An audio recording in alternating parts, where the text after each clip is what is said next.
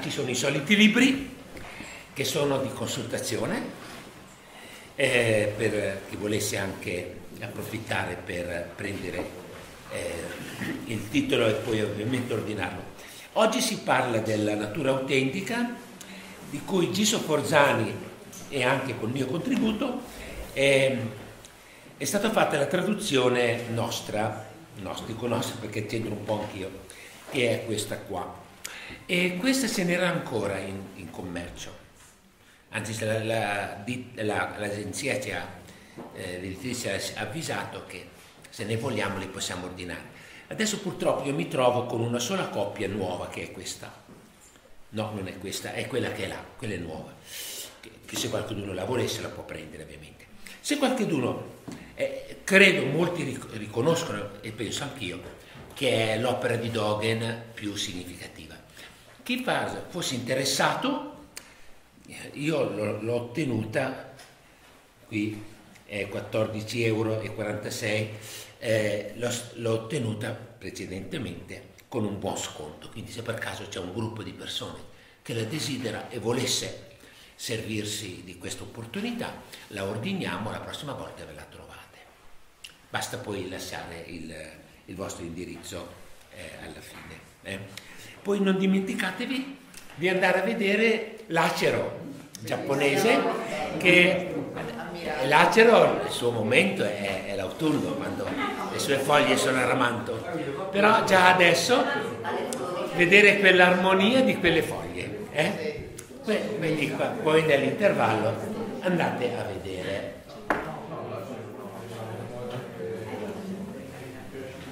Mi pare di non avere altro da dire basta e dopo tu dirai dopo alla fine anche per il eventuale eh.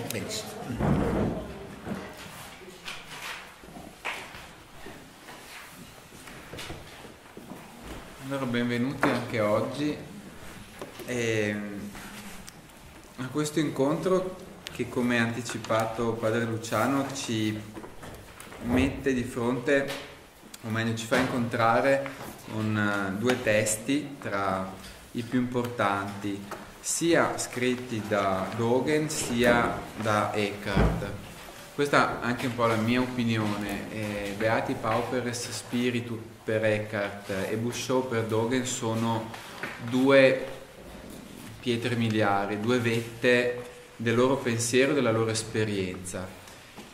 E io stesso, devo dire, faccio anche fatica a parlarne, così come si fa fatica a parlare del volto della persona più amata, nel senso che non c'è parola che possa esprimere veramente in modo analitico la bellezza che si prova nella contemplazione. Quindi di fronte a questi testi, ehm, quando cercavo di preparare delle, delle cose da dire, mi rendevo conto che erano ancora di più delle altre volte insufficienti, qualunque tipo di parola cercassi di trovare per commentarli, per corrispondere.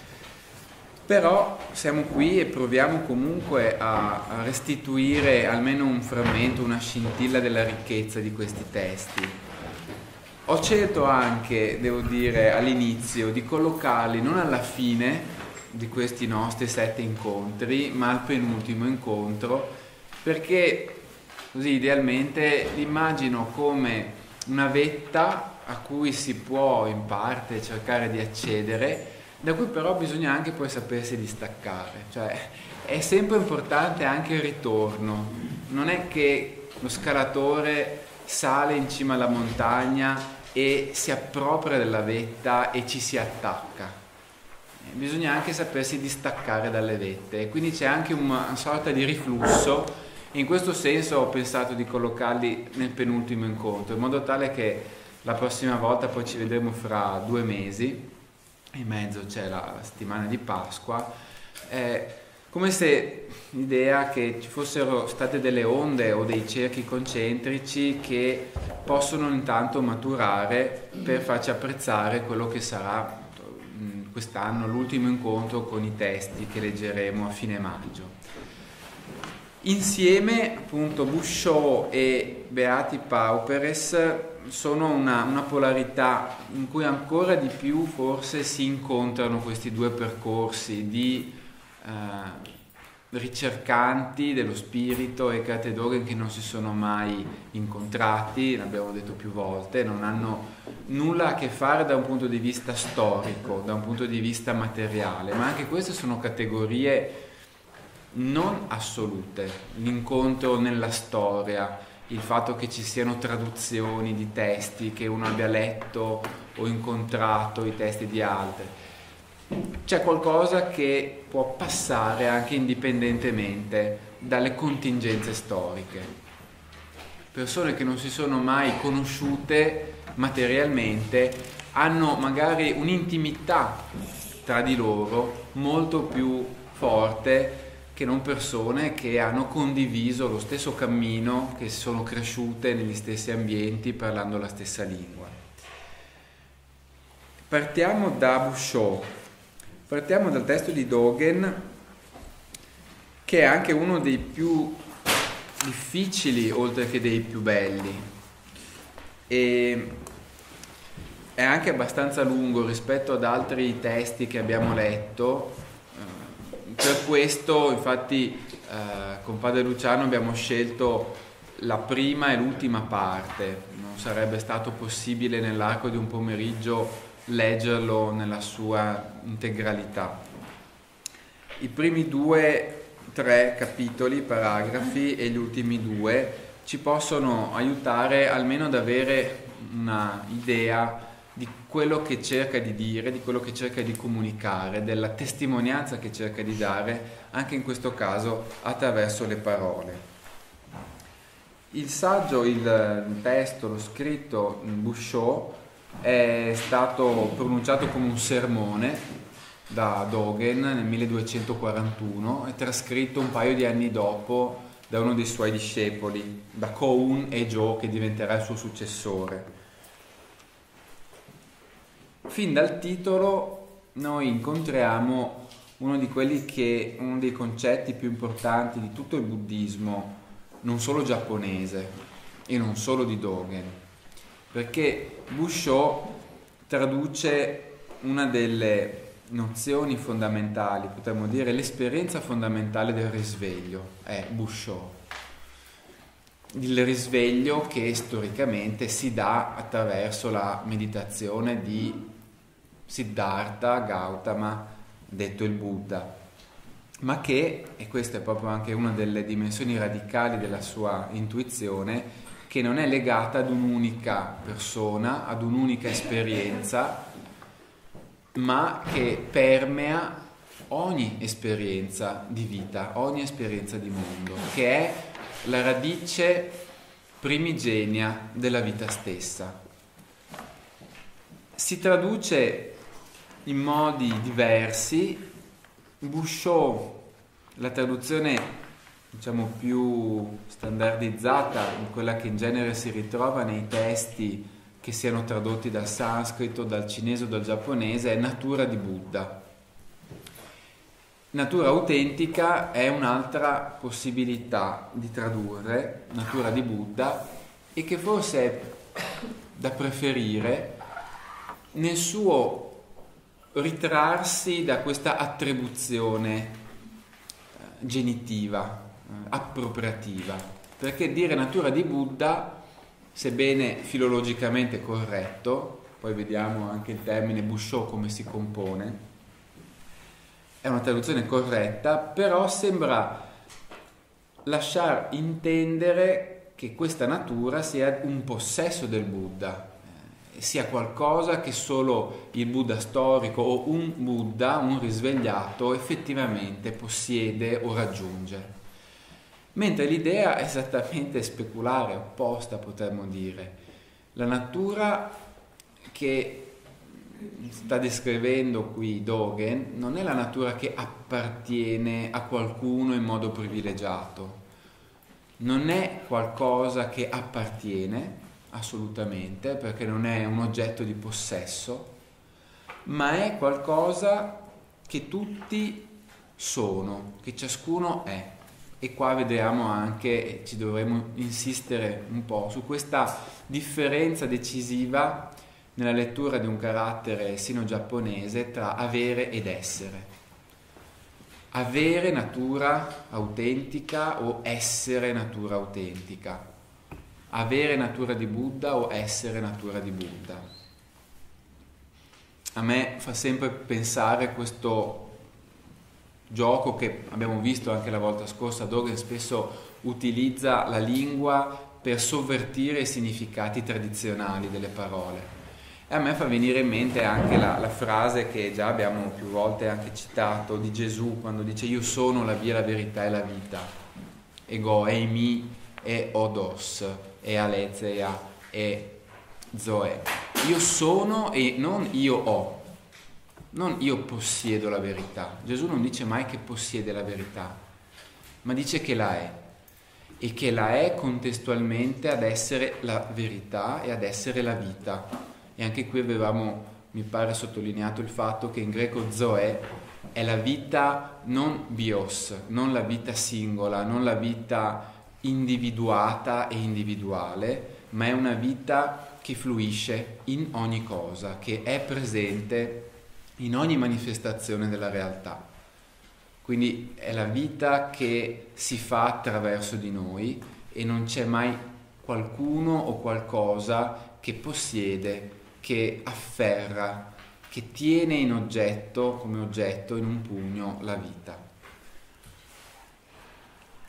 Busciò, allora vediamo già subito questo termine c'è sulla copertina di questo libro e io l'ho scritto con carattere antico giapponese qui.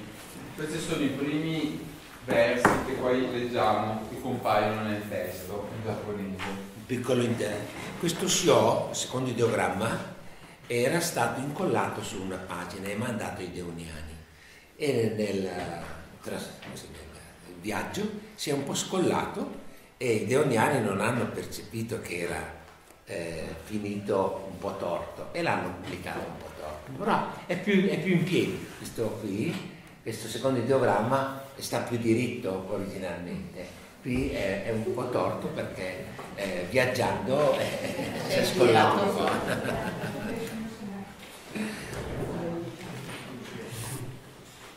Muscio questo carattere semplificato si scrive così e da solo si legge Butsu. Butsu è Buddha, il modo in cui in giapponese si scrive e si pronuncia Buddha, in cinese si pronuncerebbe Fo, Fo Xin, in cinese Busho, Butsu, Sho o Sei si contrae la lettura di questi due caratteri diventa Busho. Sho si compone di una parte a sinistra del carattere che è il radicale per cocolo, cuore, mente. L'abbiamo trovato in Shinjin Datsuraku. Shinjin, corpo-mente. È qualcosa che non ha a che vedere solo con la dimensione intellettiva, ma anche con la dimensione del cuore come muscolo cardiaco, quindi come corpo, ma anche come qualcosa che è legato all'emozione e anche come qualcosa legato al nucleo essenziale di qualcosa, come anche noi in italiano diciamo il cuore della, della questione, il cuore della situazione, concorre tutti questi sensi. E qui compare in forma sintetica come radicale, come si, si utilizza, si dice. Radicale sta alla radice di questo carattere più complesso che presenta come secondo elemento questo di vivere o nascere, che noi abbiamo incontrato in un altro testo di Doge, Shoji, vivere e morire, nascere e morire o nascita e morte. Da solo questo carattere si, si può pronunciare sei o sho, tra le altre, tra le altre pronunce. Insieme cuore e vivere nascita si può tradurre come natura, non la natura nel senso del paesaggio naturale che sta fuori di noi, eh, come l'insieme delle piante, dei fiori, degli animali, ma natura come dimensione essenziale, la natura propria di qualcosa, la caratteristica, talvolta si traduce anche con caratteristica o qualità essenziale di un elemento. Quindi Bouchot è la qualità della buddhità, dell'essere Buddha, la natura specifica che possiamo individuare come simbolizzata nell'esperienza del Buddha. Ma anche qui, come dicevo prima, dobbiamo intendere non natura che appartiene soltanto a quella persona che noi usiamo chiamare Buddha, vissuta nel VI o V secolo a.C. Ma questo essere Buddha è in realtà la natura che pertiene, che è legata, che si manifesta in ogni essere. In linguaggio cristiano potremmo forse parlare di natura cristica, che non è qualcosa che si lega soltanto ed esclusivamente ad una persona nata con il nome di Gesù e morta in certe condizioni, anche se storicamente in quella figura chi crede nella dimensione della fede cristiana riconosce una individualità assoluta, una specificità particolare, ma il messaggio, il cherigma, l'annuncio, dice che tutti sono figli di Dio, in tutti è presente la natura di Cristo. In questo caso, tornando al linguaggio buddista, diciamo, Busho è natura autentica, genuina, primigenia, che si manifesta in ogni fenomeno, in ogni elemento, in ogni frammento di realtà. Non solo nella realtà pienamente realizzata, una persona bella, famosa, ricca, che ha realizzato i suoi sogni, ma anche nella persona nei suoi momenti peggiori. Anche in quei momenti c'è natura di Buddha. Questa è già una delle cose anche difficili da accettare perché tenderemo subito a dualizzare, a distinguere, a discriminare.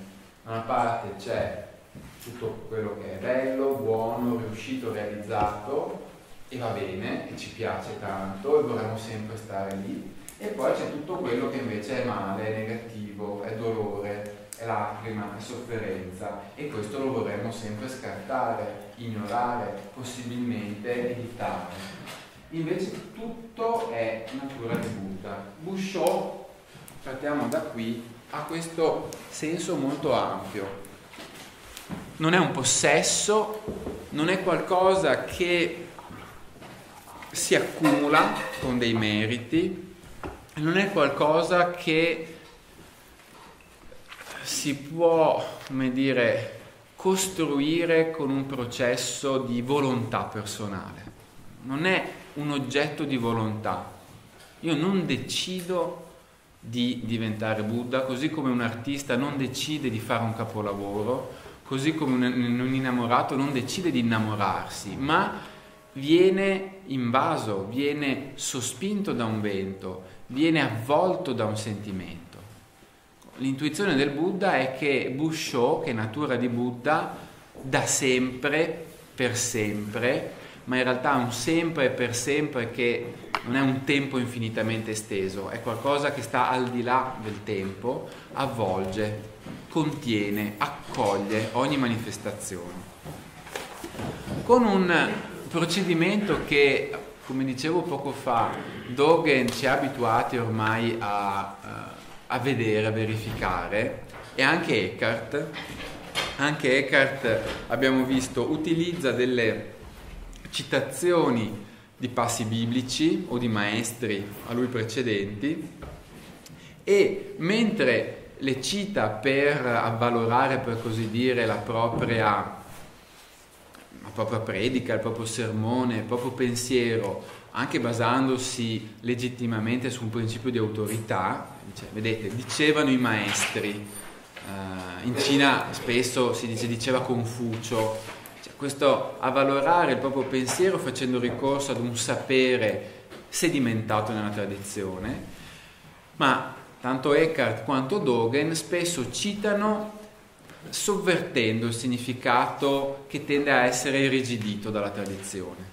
È come se sapessero e fossero ben consapevoli che la tradizione è un grande serbatoio, è una grande ricchezza di energia che però può sempre correre il rischio di venire avvilita dalla tradizione isterilita, dalla dall'adagiarsi su una serie di eh, concezioni che diventano statiche, che non producono nuova vita, ma che invece tendono a fissarsi, a irrigidirsi.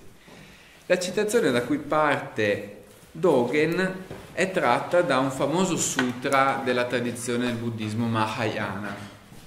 Anche qui abbiamo più volte incontrato questa diciamo, tripartizione di grandi correnti nel buddismo. Uh, scuola degli antichi, Theravada, poi nominata Hinayana, piccolo veicolo, da coloro che si sono attribuiti invece l'appartenenza al grande veicolo, Mahayana.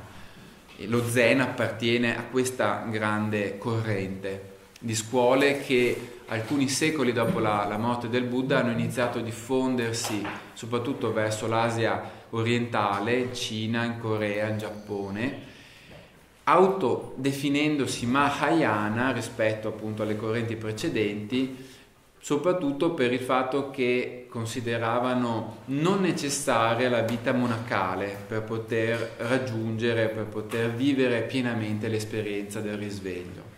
La terza grande corrente è quella che poi soprattutto attecchisce in Tibet, nel nord dell'India, il buddismo Vajrayana, che in Occidente noi tendiamo a chiamare buddismo tibetano, ma in realtà il buddismo nasce in India e tutte le correnti partono da lì. Uno dei più famosi sutra delle correnti Mahayana buddiste è il Mahapari Nirvana Sutra, in giapponese Nehangyo, sutra Nirvana Sutra anche citato più semplicemente, in cui nella traduzione giapponese si leggono quei quattro versi. Issai Shujo, Shitsu Busho, Nyorai Joju, Mu U Henyaku. Eh, possiamo leggere la traduzione, diciamo la versione tradizionale, sia nel sanscrito, dalla, nella traduzione dal sanscrito, sia nelle traduzioni dal cinese e dal giapponese, recita così. La totalità, issai, una cosa nella sua totalità, la globalità, shujo, degli esseri viventi, jo, vedete, vivere, nascere, con lo stesso carattere che qui compare da solo, la totalità degli esseri viventi, tutti gli esseri viventi, gli esseri viventi come tutto, possiamo sbizzarrirci, ma il senso generale che viene dato tradizionalmente è questo, tutti gli esseri viventi, tutti Shitsu, hanno la natura di Buddha, Busho, tutti gli esseri in quanto totalità hanno la natura di Buddha. Scusate, qui ho sbagliato un carattere. Eh, infatti era un test per voi.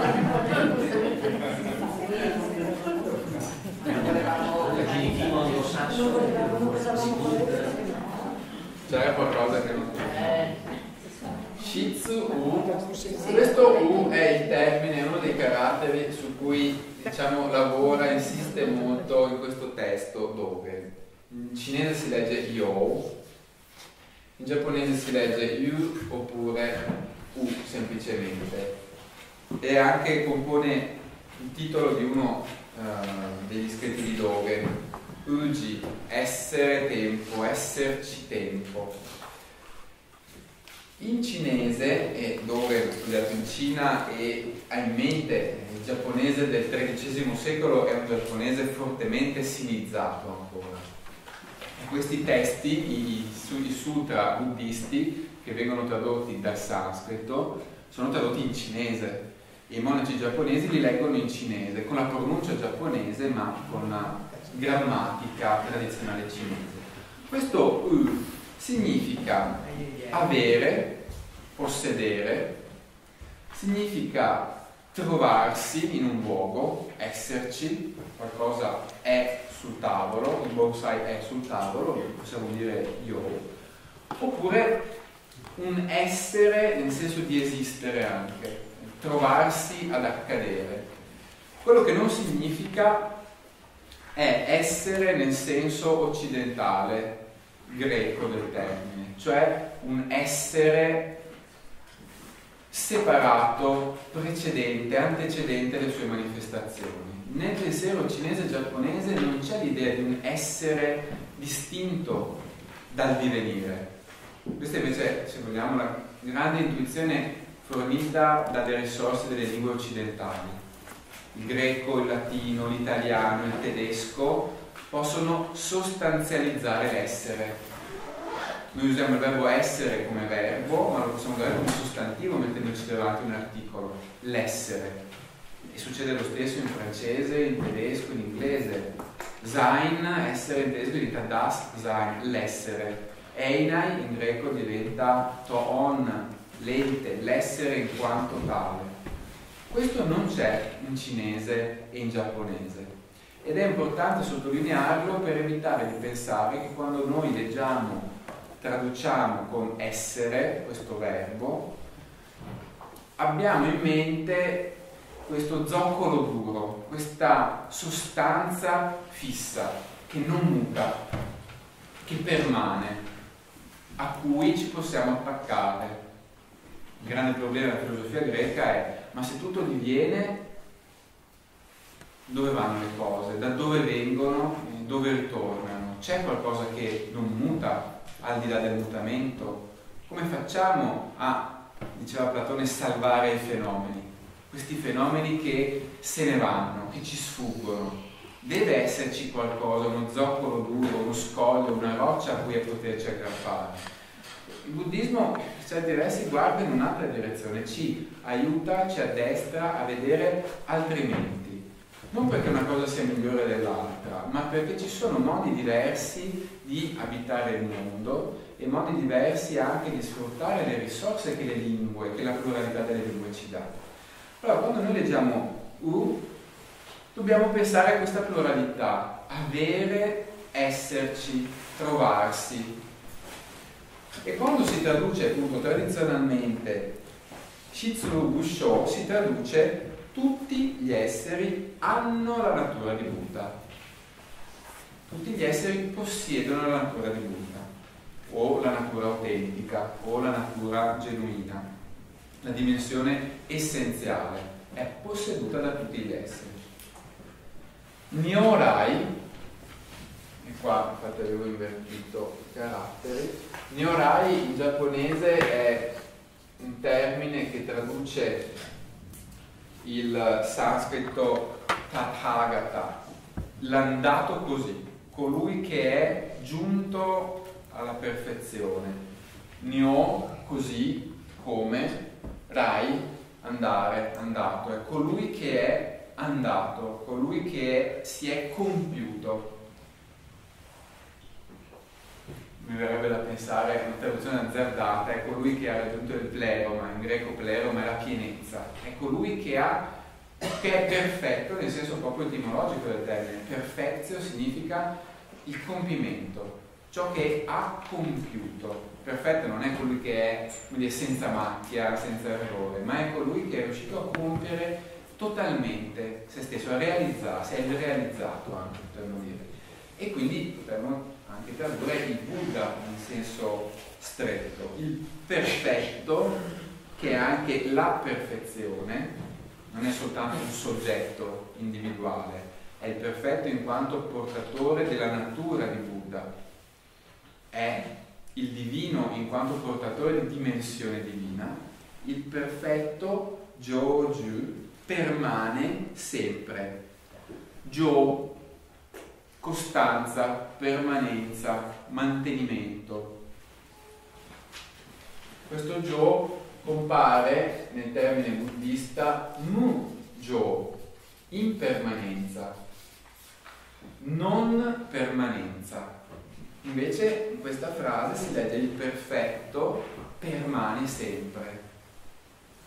Tutto muta, i fenomeni passano, ma il perfetto, la dimensione essenziale, la natura di Buddha permane sempre.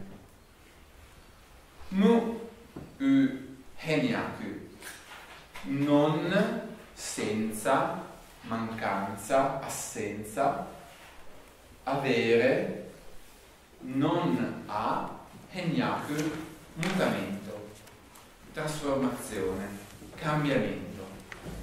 Quindi rileggendola tutta nella versione, ripeto, tradizionale, tradizionalmente eh, tramandata, la totalità degli esseri viventi, tutti hanno la natura di Buddha. Il perfetto permane sempre, non ha mutamento. Che cosa fa Dogen?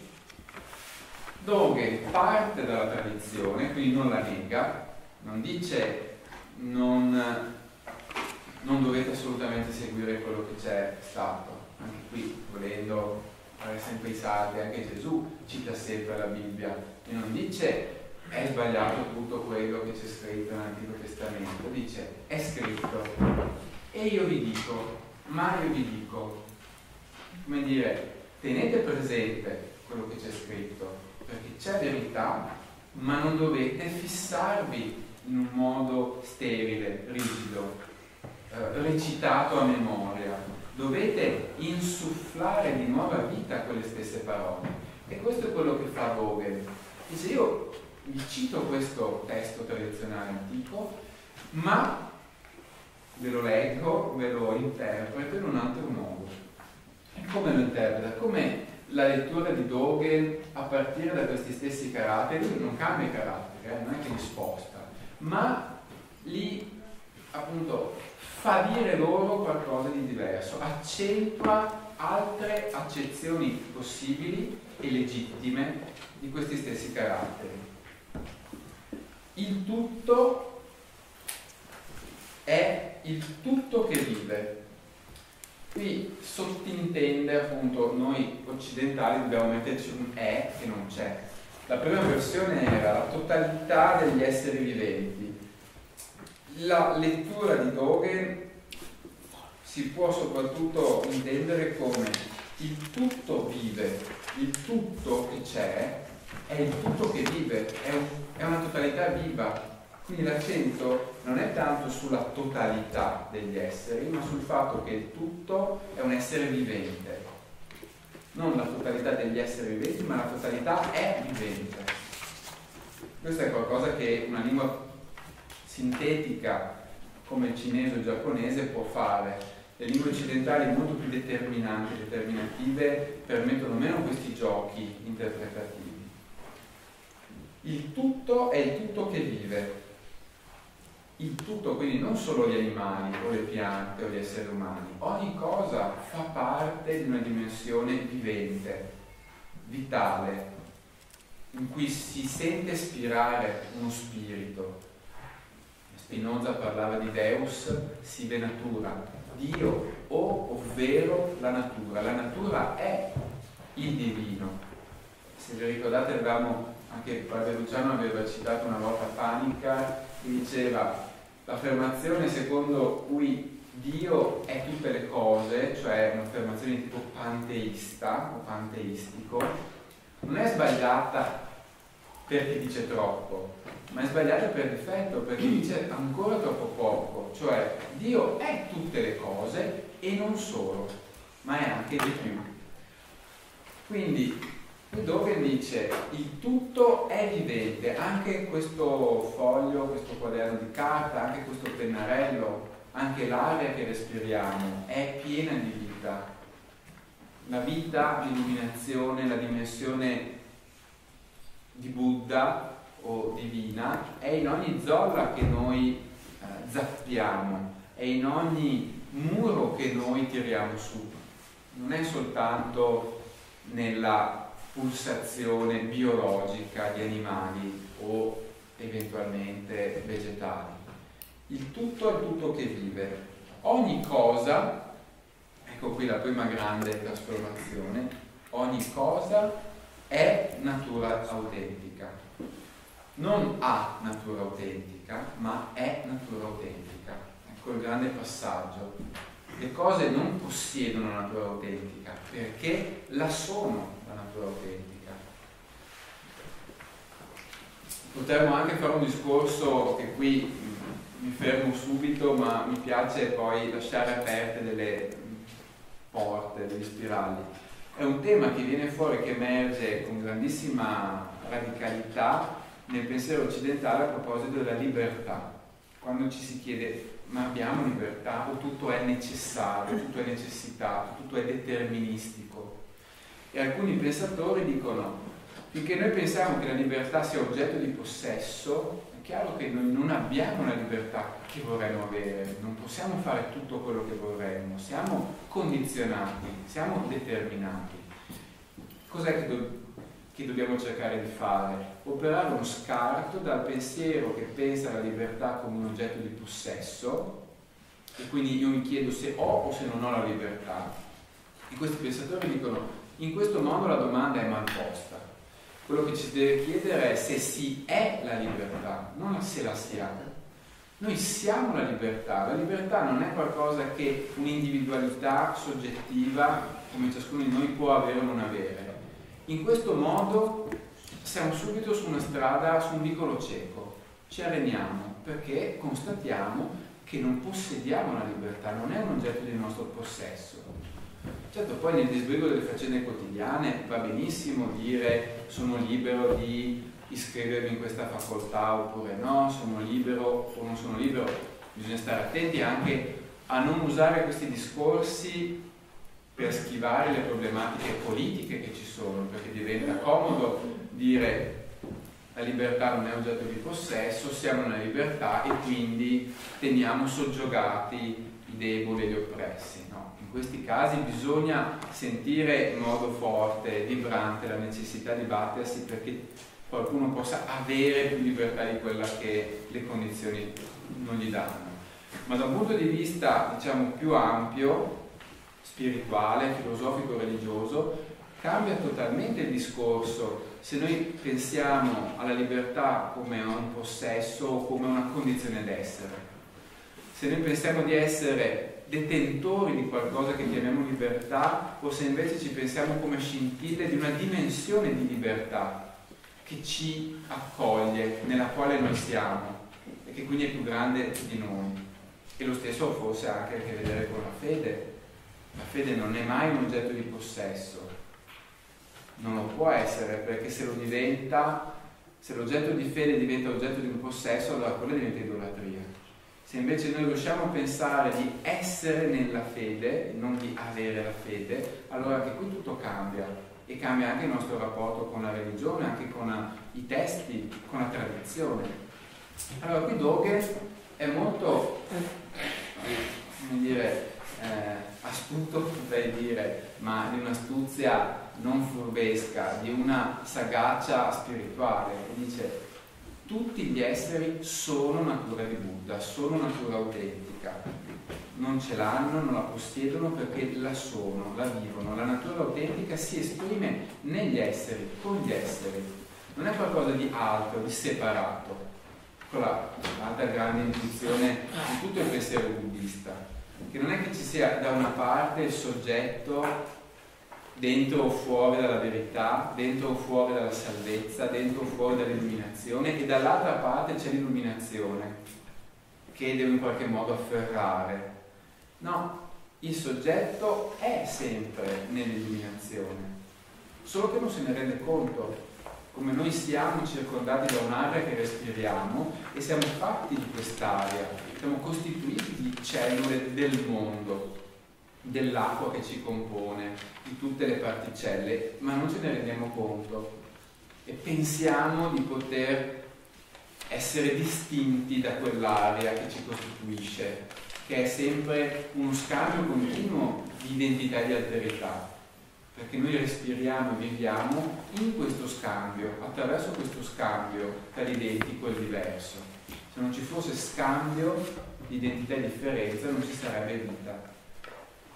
E quindi lo stesso, qui c'è una dinamica tra soggettività individuale che noi riconosciamo quando ci dobbiamo identificare con il nostro corpo, con le nostre memorie, con le nostre fatiche, ma, dice Doghe, non siamo solo queste cose, siamo in realtà queste fatiche, queste identità, questi corpi sono all'interno di una dimensione più ampia che è la natura autentica.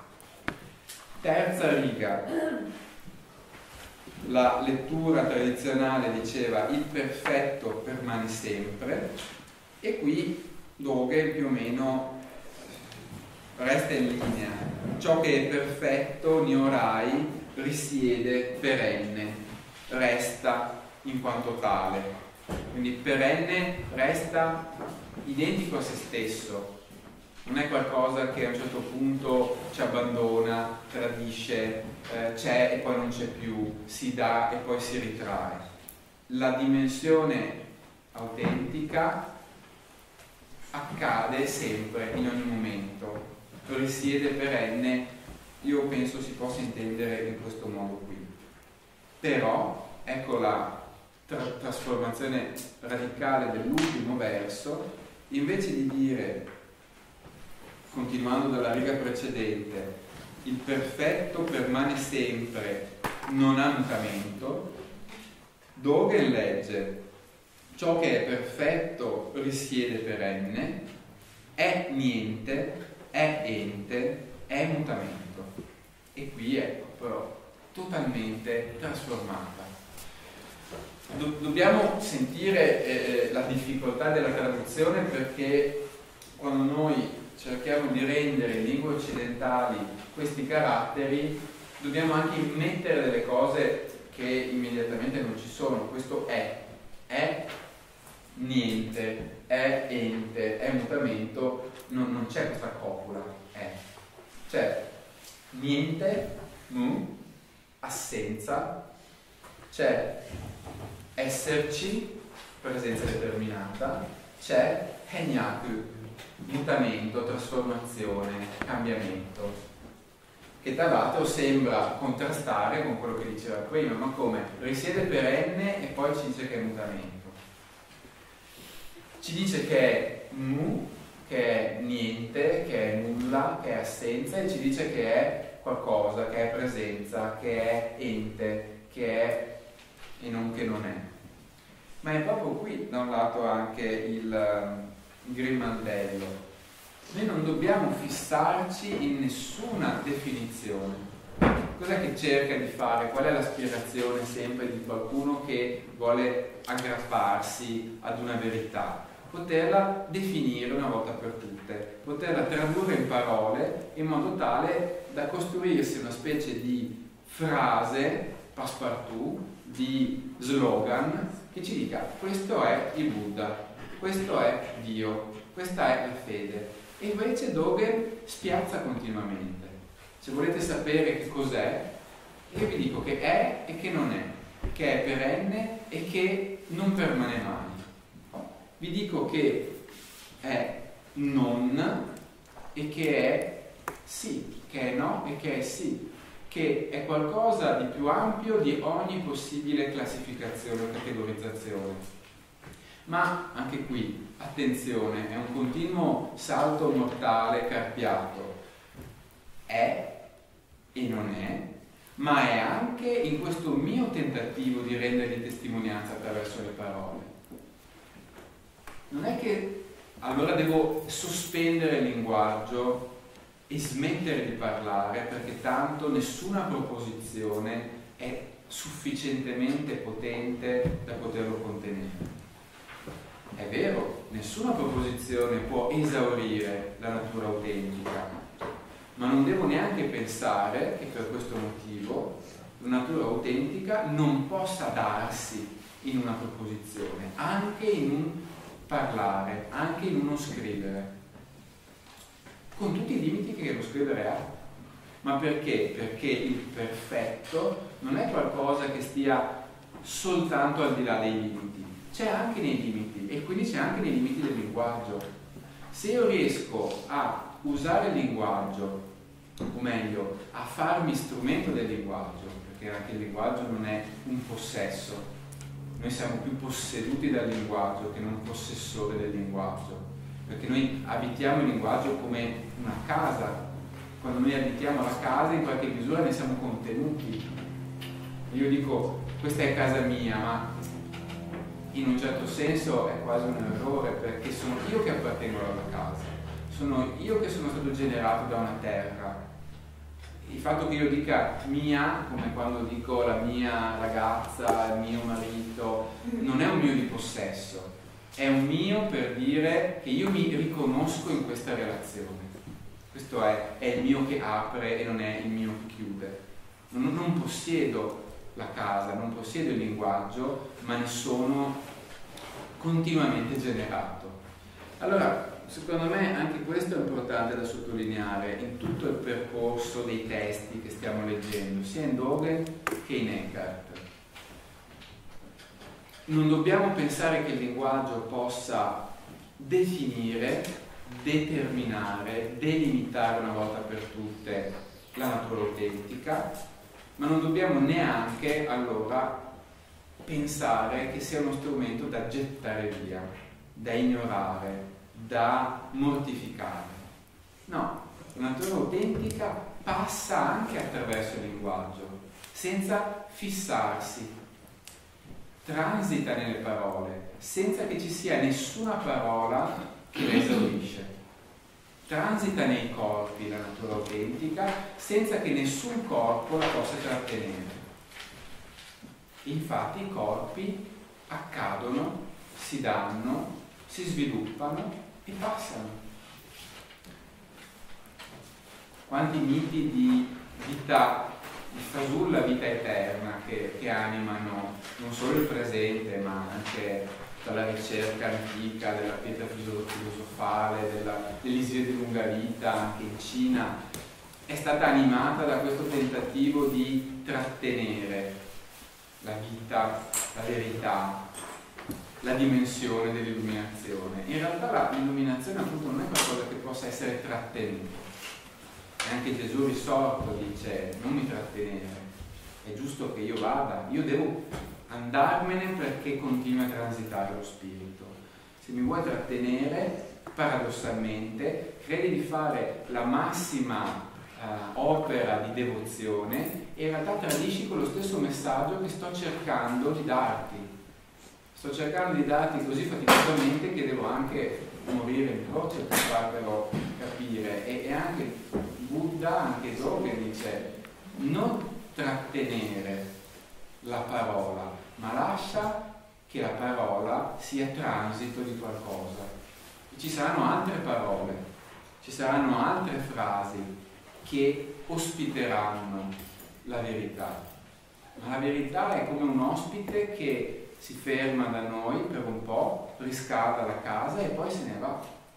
Perché se noi tratteniamo quell'ospite non ne comprendiamo veramente il messaggio, ci attacchiamo alla cosa, alla persona, alla figura, al santino e non sentiamo il respiro che invece quella figura dovrebbe veicolare. Allora ecco, mu, u, heniaku, il perfetto, la natura autentica, sono tutti sinonimi, eh. possiamo usare Buddha, possiamo usare natura autentica, possiamo usare illuminazione. È, ma anche qui mettiamo tra parentesi questo è, perché la nostra lingua ha bisogno di utilizzare una copula per costruire una frase dotata di senso. Dovremmo dire alla lettera ciò che è perfetto, niente, ente, mutamento, oppure non esserci, esserci, trasformazione. Tre modi per dire una stessa cosa che però si dà in dimensioni differenti. Ciò perfetto. Ciao perfetto, eh sì, eh sì. Perché eh, il relativo non c'è in giapponese, non esiste relativo. Sono... e, e non esiste appunto la, la, copula come la intendiamo noi, questo è che, che, fissa, che tende a identificare qualcosa, poi lo vediamo anche più avanti nello stesso testo. Quello che noi chiediamo sembra pratica, come farmi... Sì, sì, sì. Anche in eratico c'è per esempio? Il Dio è giorno-notte, sazietà, fame, inverno, estate. E non c'è neanche poi né la congiunzione e non dice inverno e estate, sazietà e fame, e non c'è neanche poi il verbo essere esplicitato. Dio, giorno, notte, sazietà fame. Questa dimensione che è ossimorica, cioè antitetica, tiene insieme cose che non dovrebbero stare insieme secondo la logica convenzionale. Se è uno non è l'altro, non fa essere pieno vuoto, vita morte. E invece questo è proprio ciò che una, un pensiero, un'esperienza di questo tipo sfida, questo pensiero logico che esclude gli opposti.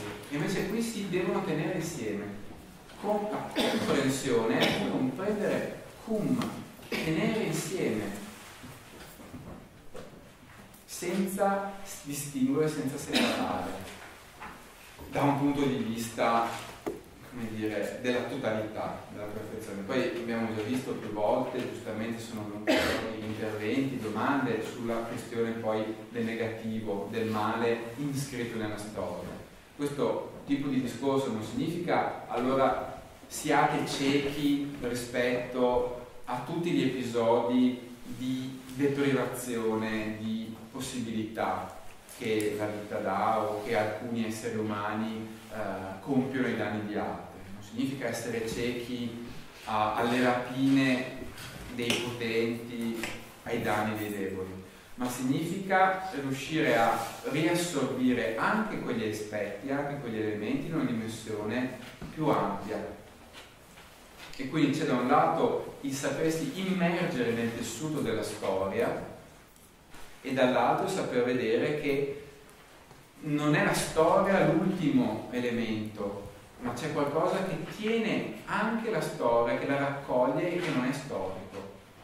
E su questa dialettica, tra l'altro, buddismo e cristianesimo dialogano in modo molto fecondo, perché talvolta è come se anche fossero, diciamo, accentuassero un aspetto rispetto all'altro. Là dove uno magari tende a, a vedere soprattutto l'aspetto astorico, ecco che l'altro dice no, attenzione, c'è anche la storia, e là dove invece c'è il rischio di un eccesso di immanenza storica, di non riuscire a vedere l'aspetto mistico che ingloba la storia, ecco che l'altro accento dice sì, però attenzione che la risurrezione è qualcosa che non è soltanto legato alla storia, l'illuminazione non è qualcosa di soltanto storicamente determinato. La parentesi, eh, giovedì sera eh, sono stato invitato, sono stato a vedere una serata di tamburi, tamburista che quando vengono a Milano in genere mi invitano e, e mi diceva il marito di questa signora giapponese che organizza, la quale ha ricevuto il battesimo da me quattro anni fa. Dice, mia moglie, perché sua moglie era tutta affarata, dice, mia moglie dice, o è la prima e riesce a fare tutto perfettamente, o è l'ultima, non fa più niente. Non riesco mai a farla essere la seconda, mi diceva, no? E questa è un po' la tendenza proprio della mancanza di, di non aver sviluppato l'intermedio. Ecco, L'Oriente non sviluppa l'intermedio, sviluppa perché si lascia assorbire da quella profondità di ogni momento e quasi eh, non, non, o si dimentica oppure non sente il grande il valore anche del cementare dell'intermedio tra le cose no? quindi so, andate a vedere Tokyo ogni casetta può essere un capolavoro però non hanno la distensione delle, delle, delle nostre città eh, che abbiamo in eh, Toscana, in Umbria, eh, dove una casa è appoggiata all'altra e sembrano che proprio devono essere così, no? Lì sono proprio al loro posto, no? Invece eh, le città giapponesi sono costruite, ogni casa è il perfetto, no? E quindi Dogen che ha accolto che questo perfetto è trasformazione, eh, anche se tanti poi non, eh, non l'hanno percepito, no? È una grande intuizione. Io penso che il Buddha che dice la, che ha predicato la via di mezzo è perché ha colto anche in un certo senso il limite delle, del rapporto con la realtà eh, focalizzata in quell'attimo no? che ti fa perdere poi eh, quella eh, interdipendenza o interconnessione con Scusa. No, no, eh, grazie. Eh, un'ora per leggere tre righe, non sto andando molto bene come rapidità, però eh, allora adesso cerchiamo di andare un po' più spediti. Sì. Esatto, adesso proviamo a passare all'altro, al veloce.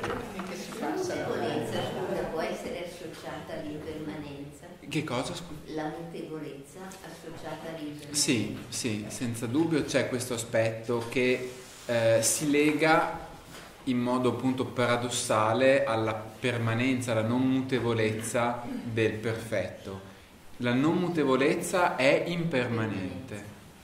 E l'impermanenza è proprio questo darsi della perfezione. Il fiore è perfetto non perché resta, ma perché sfiorisce. La sua perfezione è nella sua impermanenza. Anche qui noi in Occidente, anche l'arte ha cercato soprattutto di mostrare la dimensione eternizzante. I busti greci, le statue, i templi, cercavano con tutto ciò che di positivo anche c'è in questo, di insistere su qualcosa che trascendesse, che andasse oltre il fluire del tempo. E poi però invece ci viene dalla saggezza del mondo orientale, dal Giappone, anche un'altra voce che ci dice la bellezza non è soltanto, non è tanto in ciò che si fissa, ma è in ciò che passa, proprio perché passa, non nonostante il fatto che passi. Anche qui, in genere, si arriva a dire è bello nonostante il fatto che passi. È bello perché. invece è bello perché, proprio perché passa. E quindi qui anche c'è un'idea per cui la concezione del nirvana, appunto questo nirvana sutra, nirvana significa estinzione, sgonfiamento, eh, in un certo senso è lo scioglimento dai vincoli della brama, dell'attaccamento e quindi potrebbe anche essere un simbolo efficace per dire il distacco, quello che, che Eckhart chiama distacco. Nirvana è distacco appunto in questo senso lo sgonfiarsi di ogni volontà egoica dell'ego di fare presa su qualcosa, di uh, aggrapparsi e di trattenere qualcosa. Allora da questa idea di estinzione a cui si rischia di nuovo di aggrapparsi, perché c'è sempre questa trappola come il problema del vuoto, io mi libero di tutto, estingo la mia sete, il mio attaccamento uh, alle cose materiali, alle cose anche spirituali, magari all'ego del monaco, ma resto attaccato a quell'ultima forma estrema che è il nirvana, il paradiso, il Buddha.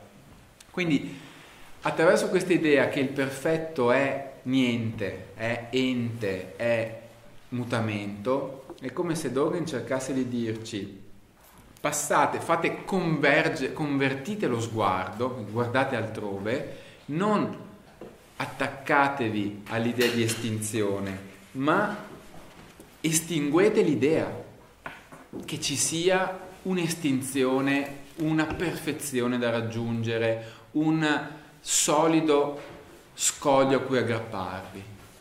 Estinta questa idea, recuperate, riguadagnate tutto quello che credevate di aver perso, tutto quello che credevate di dover abbandonare con eh, tristezza o con rabbia, con sforzo o con abnegazione.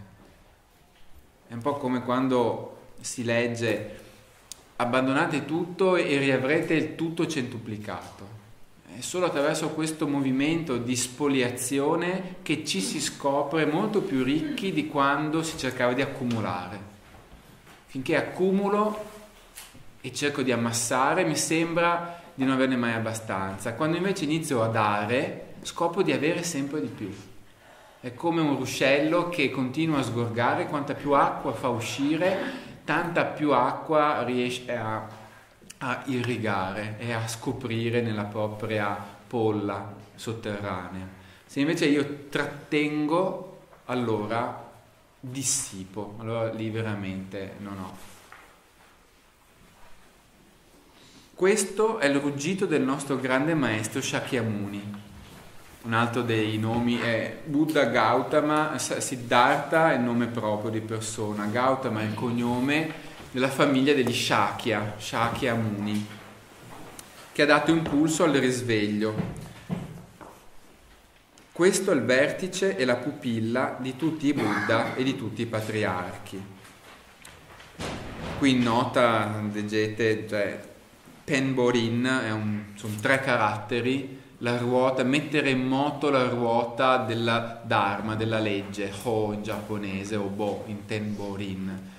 Mettere in moto la ruota è una delle espressioni tradizionali per dire che Siddhartha ha dato storicamente l'impulso, ma in realtà appunto non è lui l'unico Buddha, tutti sono Buddha, tutti sono dimensione essenziale, natura genuina e autentica.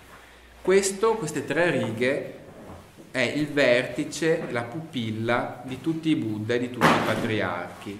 Pilla è un'altra metafora che ricorre anche nel titolo di tutti i testi raccolti di Dogen, Shobo Genzo, è il tesoro dell'occhio della vera legge. Questo occhio, pupilla è come dire il nucleo essenziale. E saltiamo le altre righe e andiamo alla pagina successiva. Qual è dunque il significato di fondo dell'espressione del venerato del mondo, del Buddha? Il tutto è il tutto che vive, ogni cosa che è è natura autentica. Abbiamo letto questa frase, dice ma qual è il significato? E il significato è dato da un'altra domanda.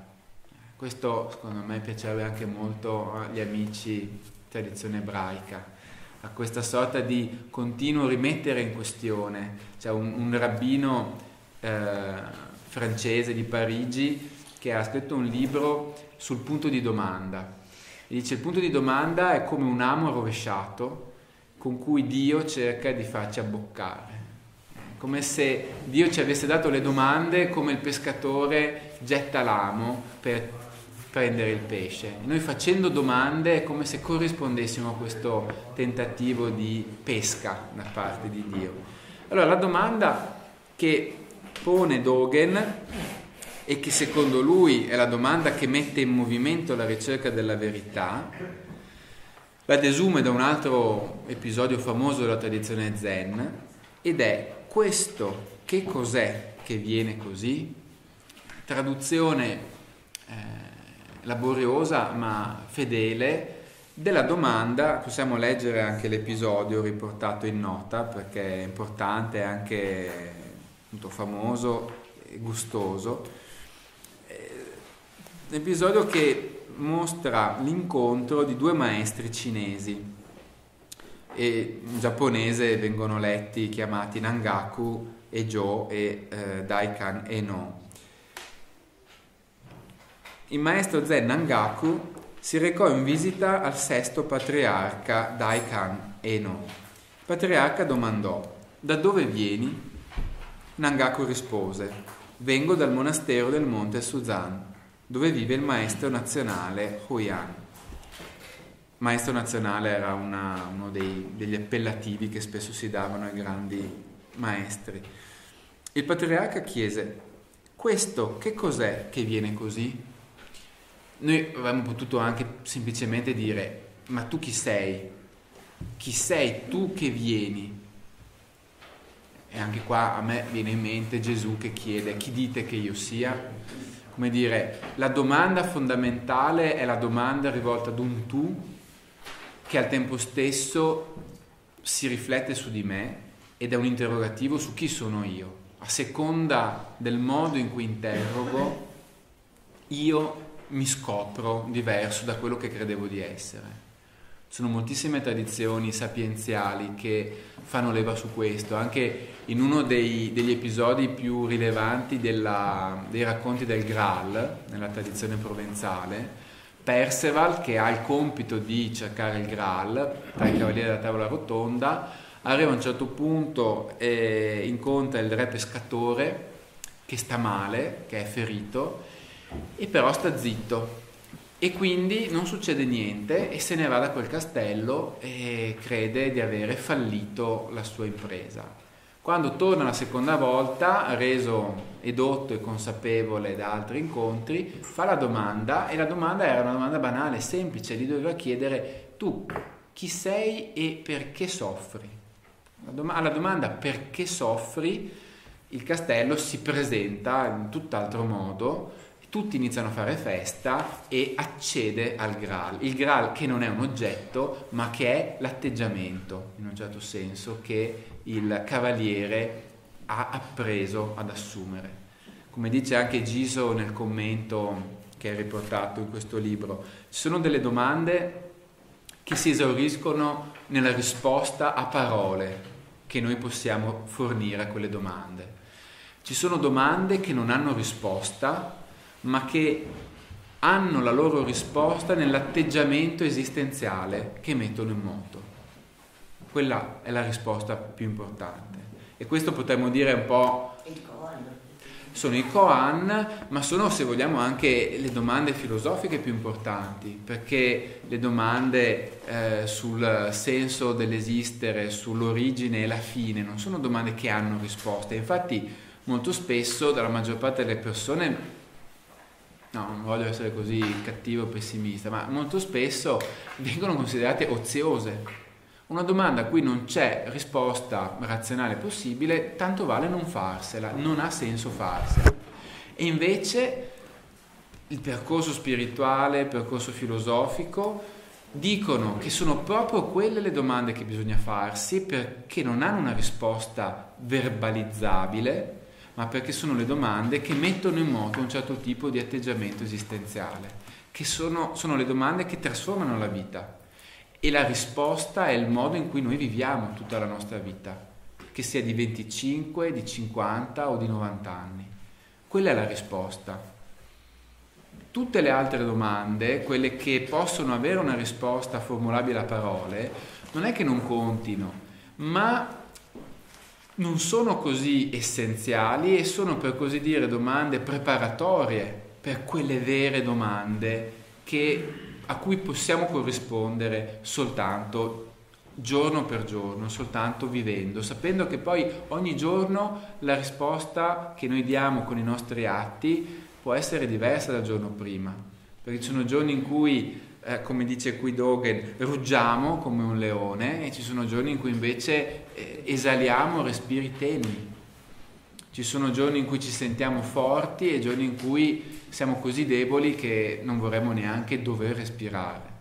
E sono queste però le risposte che continuamente dobbiamo cercare di dare a queste domande e mantenere in vita la domanda è più importante che cercare la risposta, che tacita la domanda.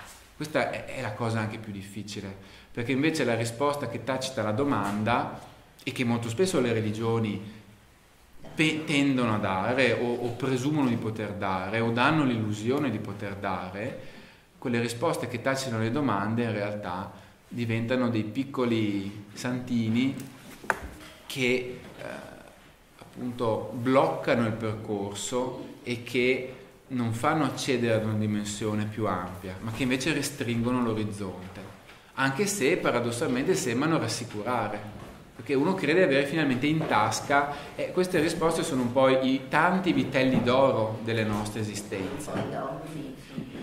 Sono i dogmi presi come risposte finali. Se noi riuscissimo invece a prendere i dogmi, deriva dogma dal, dal greco docheo, che significa apparire, qualcosa che si mostra, qualcosa che si dà, qualcosa anche di pubblico. Tra l'altro Koan, ecco, non ci avevo mai pensato, Koan, editto pubblico, potrebbe essere un modo per tradurre dogma. Hanno un senso molto diverso, ma per dire il dogma non è non dovrebbe essere, io credo, visto come qualcosa di cristallizzato, ma come qualcosa appunto di pubblico che appare, che si dà, che si mostra, che si offre, che può diventare un gradino su cui mettere il piede per continuare a scalare però quella scala.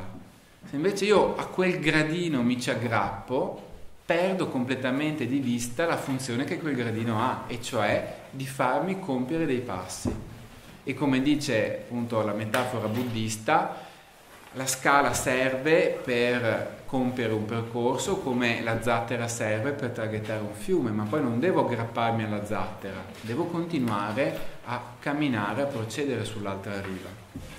Allora qui la domanda che pone il patriarca Anangaku è questo che cos'è che viene così? Tu che vieni così, che mi, mi, mi, mi fai, ti fai incontro a me.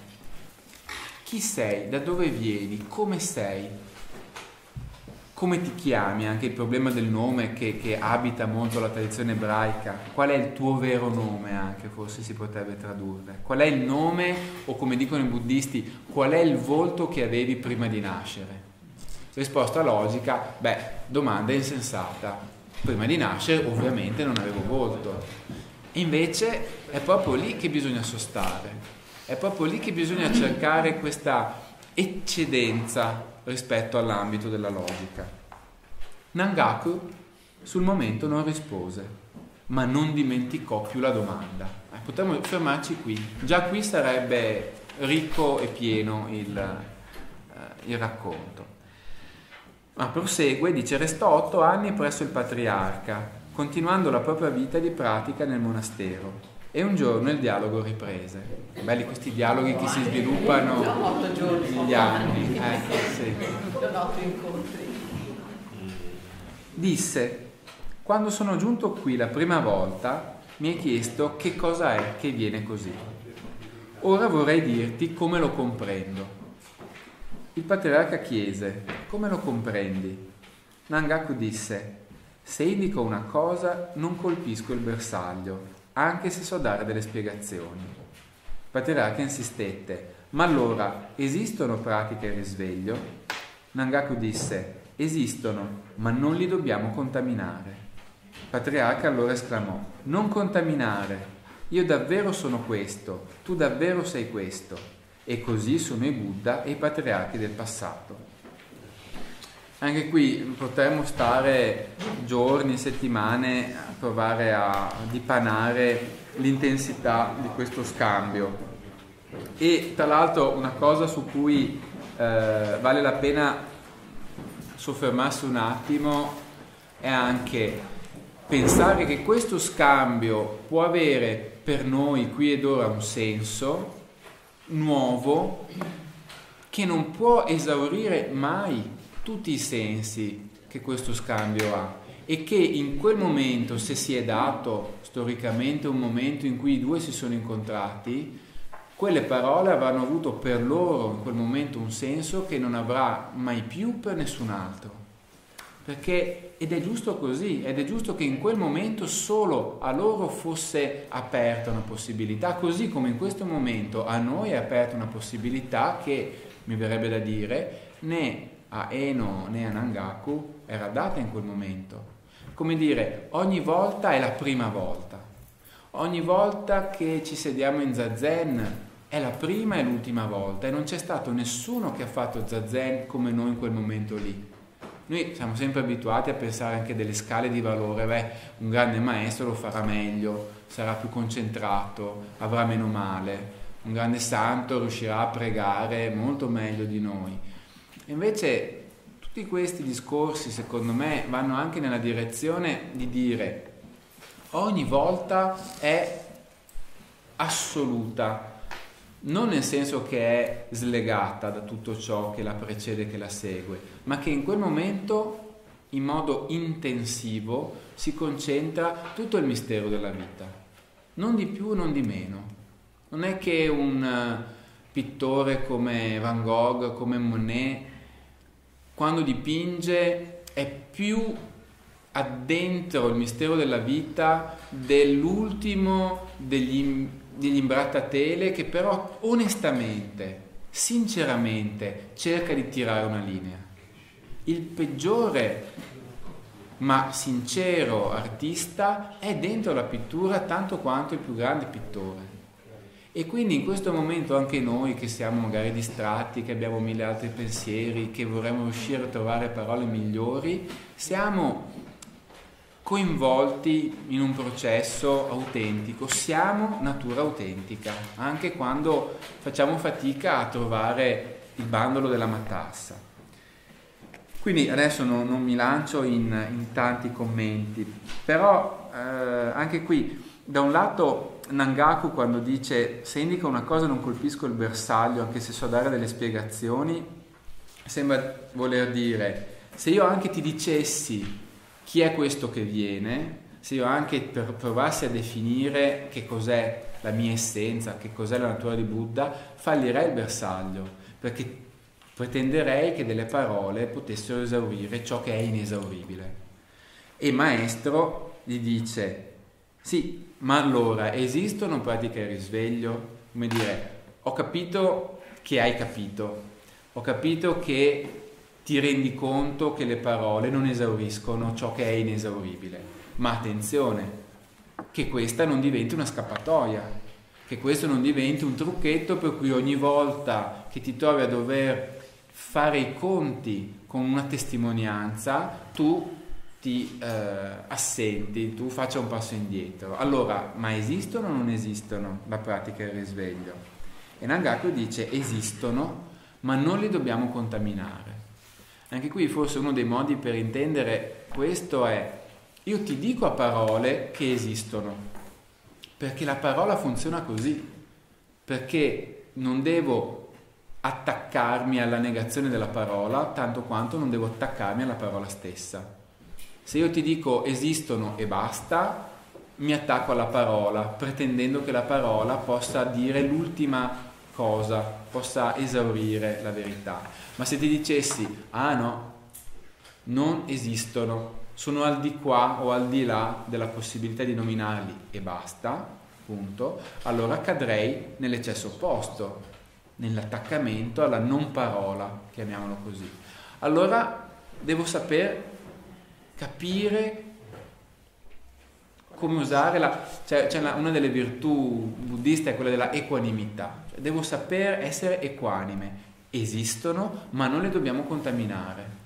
Uso la parola, ma non mi attacco alla parola al punto tale da pensare che possa esaurire appunto la realtà, la totalità. Non contaminare. Io davvero sono questo, tu davvero sei questo e così sono i Buddha e i patriarchi del passato. Ecco qui l'esclamazione originaria, potremmo dire, quella, quel fondo a partire da cui anche poi le domande si consolidano. Io sono questo, tu sei questo e io sono questo proprio in virtù del fatto che tu sei questo, che io sono io perché tu sei tu e tu sei tu perché io sono io. C'è questo continuo scambio, questa apertura all'alterità, all'incontro. In un certo senso la domanda chi è questo che viene, come dicevo prima, è anche una domanda riflessiva tu in quanto sei qualcuno che sta venendo da me, aiutami a dirmi chi sono io.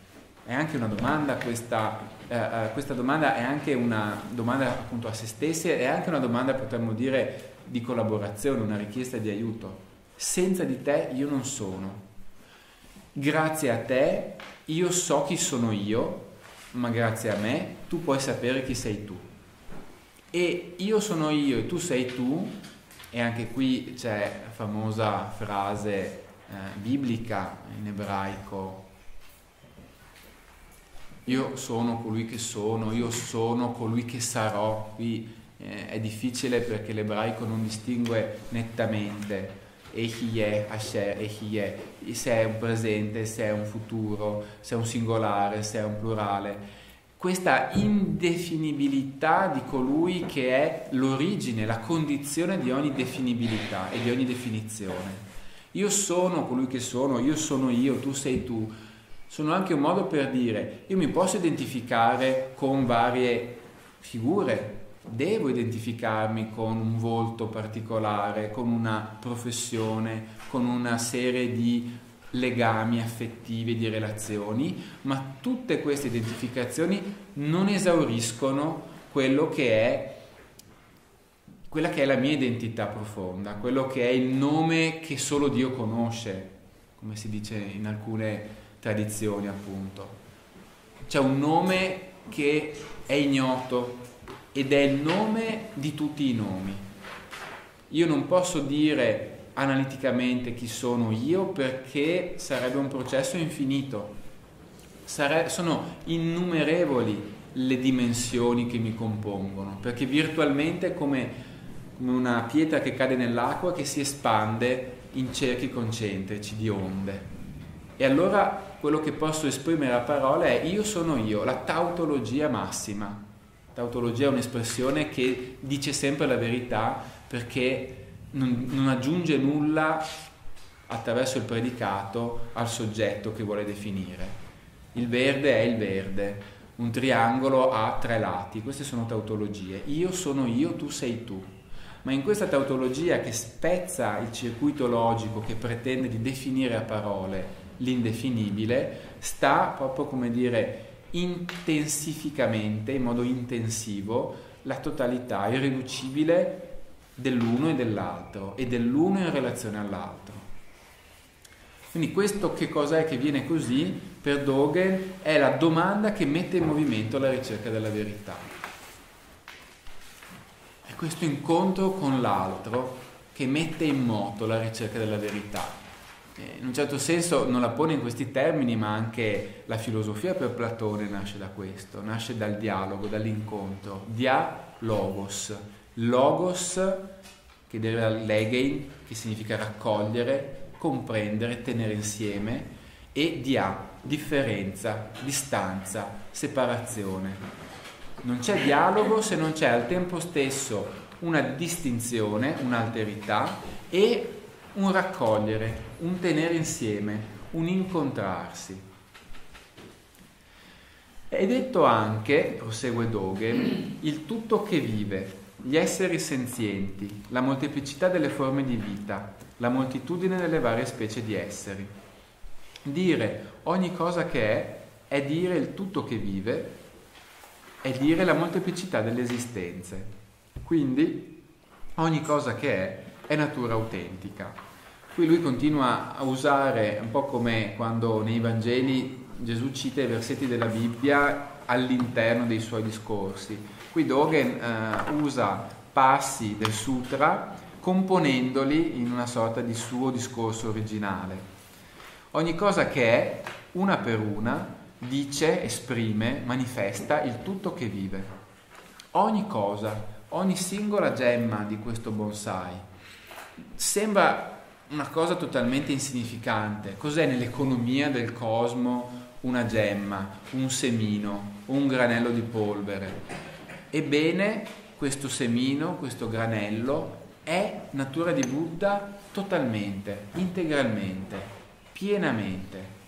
Se io riuscissi a sentire con tutto il mio essere questa verità, allora non avrei più bisogno di cercare risposte metafisiche, non avrei più la tensione o la tendenza a distruggere l'altro perché non riesco a contenere in me le spinte distruttive.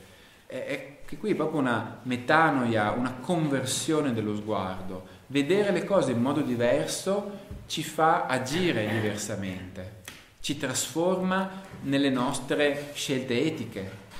Questa è anche un po' la scommessa sia buddista sia di una buona parte del pensiero occidentale. Vedere le cose diversamente significa trasformare il nostro modo di comportarci. Vuol dire non scindere la dimensione conoscitiva da quella etico-pratica. Mentre noi tante volte tendiamo a dire, vabbè, questo vale in teoria, ma in pratica è un'altra cosa. Sì, sì, a parole questo lo so, ma poi di fatto, ecco, è questo passaggio che invece la pratica buddista cerca di trasformare radicalmente e di tenere in unità. Io non so, non ho colto, non ho visto veramente come sono le cose se anche non le metto in pratica. Vuol dire che non devo ancora esercitare il mio sguardo, vuol dire che la mia pratica è ancora eh, una pratica che continua a convertirsi. In realtà eh, tutti continuiamo a convertirci, siamo sempre in cammino di conversione, non c'è mai un momento in cui diciamo bene adesso finalmente basta, sono a posto. È come se tutta la vita fosse questo esercizio di conversio, di eh, volgere lo sguardo per imparare ad abitare diversamente il mondo. Ma appunto ogni cosa che è dice il tutto che vive, esprime la totalità. Nell'adesso della verità, l'interno e l'esterno del tutto che vive è ogni cosa che è della natura autentica. Ciò non è solo trasmettere pelle, carne, ossa, midollo, ma è anche che tu diviene io, che è pelle, carne, ossa, midollo. Qui fa riferimento a un altro episodio eh, della eh, trasmissione del mm, primo patriarca del buddismo zen, Bodhidharma, che secondo la tradizione è vissuto, visse nel VI secolo d.C.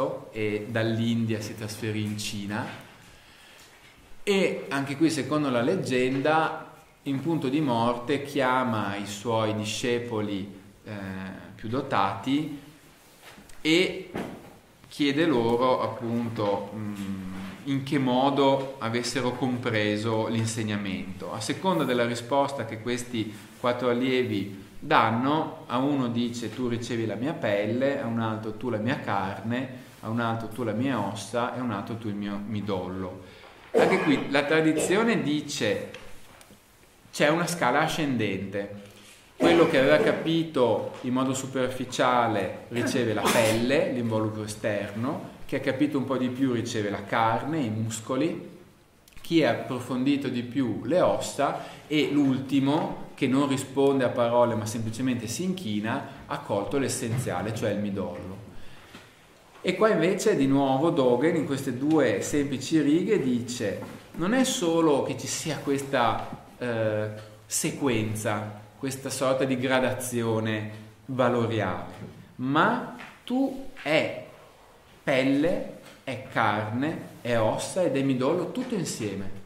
Non è che la pelle sia meno importante del midollo, non è che la mano sia meno importante del piede, perché quando soffre il piede, tutto il corpo soffre, che qui metafore che troviamo in vari luoghi delle spiritualità nel mondo. La pelle, la carne, le ossa e il midollo sono tutte natura autentica. Quindi smettiamo di pensare sempre con queste categorie migliore, peggiore, più o meno realizzato. Ogni vita è testimonianza autentica della natura autentica. Sappi l'essere di ogni cosa che è, fa ancora 5 minuti poi facciamo la pausa. Sappi l'essere che ogni cosa che è, l'essere di ogni cosa che è non è l'essere di essere non essere. Qui piccola chiosa linguistica, eh, essere di essere non essere esprime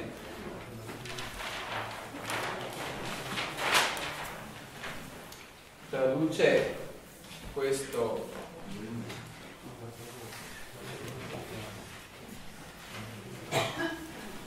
U, mu, no, U. Sono gli stessi caratteri che abbiamo incontrato prima più questo, questa particella, diciamo, che è un po' il complemento di specificazione. No. U, nu, no, mu. No, u. L'essere può esserci, anche qui non, non pensiamo all'essere come fondamento della relazione greca, un esserci determinato, una presenza. Il vero essere di ogni cosa che è, l'esserci, il, la natura autentica delle cose, non è l'esserci che appartiene a questa coppia che si determina contrappositivamente non è soltanto un essere, un esserci, una presenza come distinta, come qualcosa di distinto da un'assenza, perché altrimenti saremmo ancora nella dicotomia, saremmo ancora nella scissione, staremmo ancora pensando in termini di pieno versus contro vuoto, bene contro male, realizzato contro non realizzato.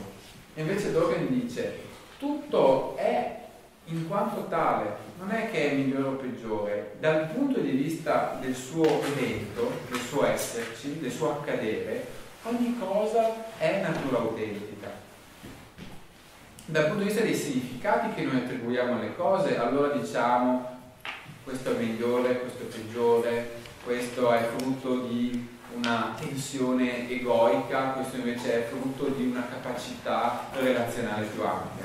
Ma questi sono sempre significati che noi attribuiamo alle cose. Dal punto di vista dell'evento, dell'accadere delle cose, tutto è natura autentica. Dal punto di vista dei significati, la bomba atomica è qualcosa di tragico, di negativo, mentre il microcredito di Yudus è qualcosa di positivo, è qualcosa che incentiva la vita. Ma dal punto di vista dell'evento, questa è la cosa veramente estrema e difficile da, anche da, da, accogliere perché significa proprio un totale ribaltamento delle nostre categorie, quelle a cui siamo abituati. Dal punto di vista dell'evento, dell'accadere, del e venire, cioè del venire fuori, la bomba atomica è parte del, dire, dell'universo, del mondo, della natura autentica, della dimensione insondabile del mistero dell'esistere.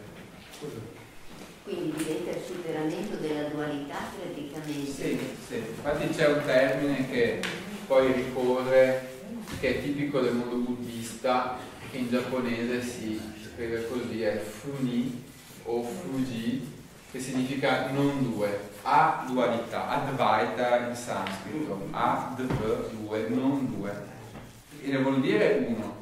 La adualità è né uno né due e quindi anche qui la logica dice se non è uno allora sarà due o sarà più di due. Invece Advaita, Funi vuol dire né uno né due, ma uno in relazione a due e due in relazione all'uno. Da un aspetto, da una parte, dal punto di vista dell'evento, dell'accadere, tutto è uno, non c'è discriminazione, tutto è natura di Buddha. Dal punto di vista della dualità dei significati che è giusto accogliere, eh? cioè non è che allora io devo solo pensare al punto di vista dell'evento, tutto va bene. No, noi viviamo anche nel mondo, siamo parte del mondo, ci dobbiamo battere, sforzare anche, perché questa è la nostra natura.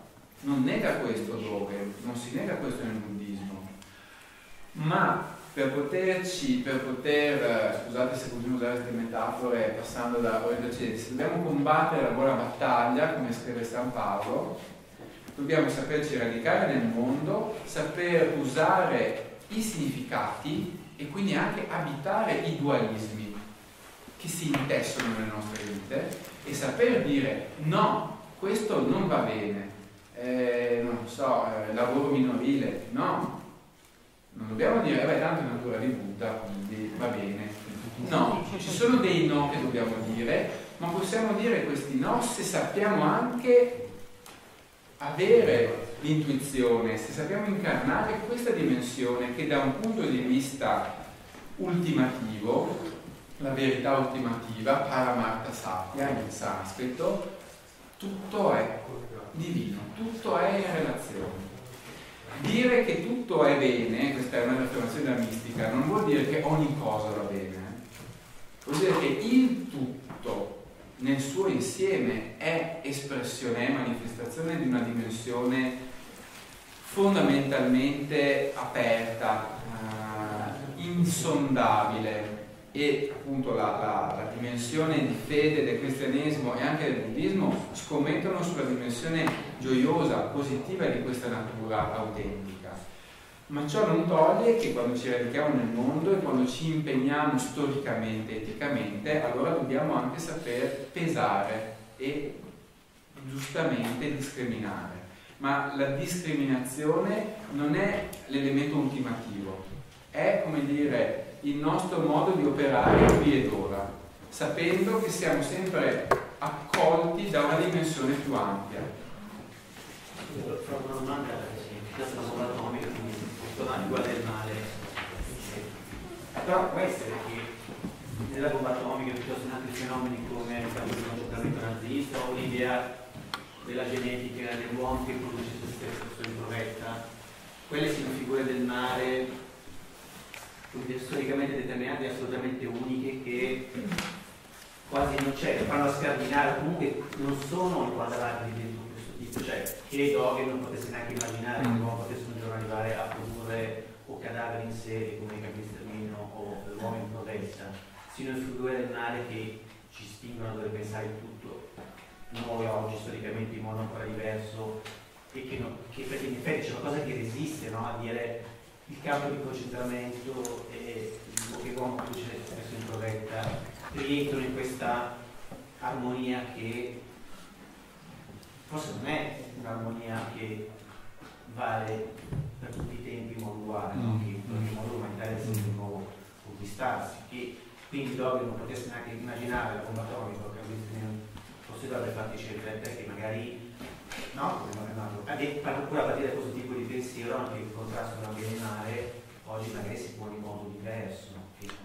Sì, sicuramente era anche venuto fuori, mi pare, uno o due volte fa, eh, avevo citato il, il breve testo di Hans Jonas sul concetto di Dio dopo Auschwitz, per dire ci sono degli eventi storici che impongono anche un cambiamento, una revisione dei concetti eh, filosofici o religiosi tradizionali, eh, che non possono essere applicati indifferentemente in ogni tempo, in ogni luogo, perché ci sono delle evenienze storiche che appunto ci, ci richiedono, ci, ci, portano a dover anche riconsiderare eh, quello che la tradizione ci ha eh, dato in eredità.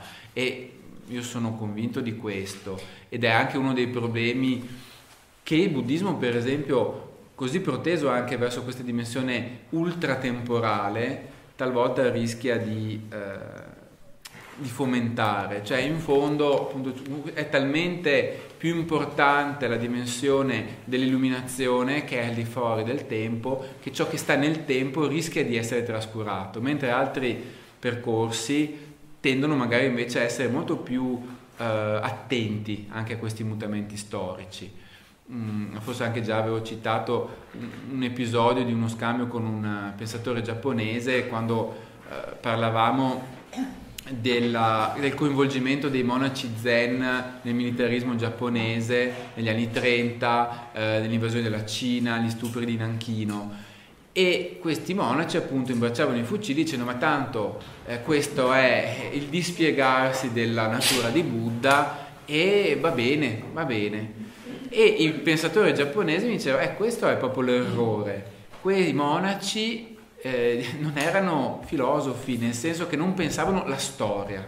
Questo è un grande punto se vogliamo anche che il pensiero occidentale ha saputo segnare nel bene e nel male, perché non solo nel bene, però i grandi pensatori occidentali hanno cercato proprio di pensare la storia. E questo anche nel pensiero indiano invece la storia è abbastanza assente, non è importante, non è così importante. Quindi sicuramente è vero, mi verrebbe da dire già però al tempo di Dogen ci saranno stati sicuramente degli episodi, anche senza arrivare ai campi di concentramento, la storia assolutamente... Nell'epoca si chiamava l'epoca delle guerre. Eh no, però appunto che abbiamo qui non è come l'idea di produrre l'uomo in profeta, non è come cioè l'idea ad esempio che basta schiacciare un bottone e fare una cosa che è responsabile, no?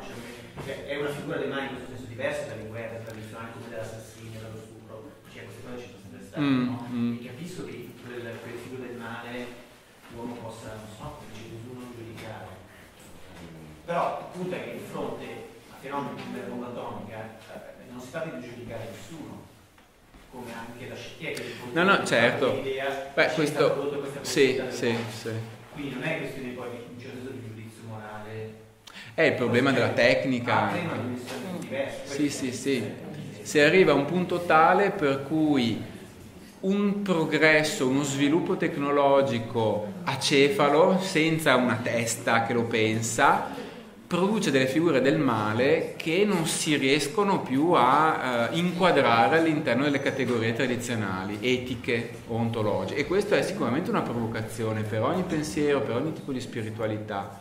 Questo ne sono convinto ed è per questo che noi dobbiamo continuamente rileggere i testi mettendoli alla prova della contemporaneità e anche ritradurli vuol dire anche reinterrogarci sul modo in cui possono reggere alla prova del... Che cosa vuol dire oggi eh, il rapporto vita-morte quando possiamo tenere in animazione un cadavere o quasi, Una, un organismo in stato eh, vegetativo persistente per 19 anni? Eh, è vita o è morte? Questo è un problema che Dogen non aveva mai potuto porsi e neanche la, il diritto canonico della, dottrina, della teologia cristiana medievale. E sono problemi che invece oggi ci impongono anche di ripensare la nozione di vita e la nozione di morte. Quindi questo sicuramente è importante. Io direi anche un'altra cosa, se posso. Eh, io penso, per quanto conosco, che Dogen è più, è più profondo di quello che è eh, la, la nozione comune del buddismo. Eh, in un certo senso, se, se, esiste un buddismo come un patrimonio di modo di vedere, eccetera, Dogen spunta oltre. E in questo testo qua compare, nella seconda parte poi se la si fa eh, vorrei farlo notare. Ma là dove lui dice appunto che il perfetto è cambiamento, lui ha intuito che la critica è parte della perfezione come diciamo eh, la, eh, la, quella immedesimazione eh, che è l'esser, l'esserci, no? Eh, la critica. La critica nel mondo orientale non è cresciuta così.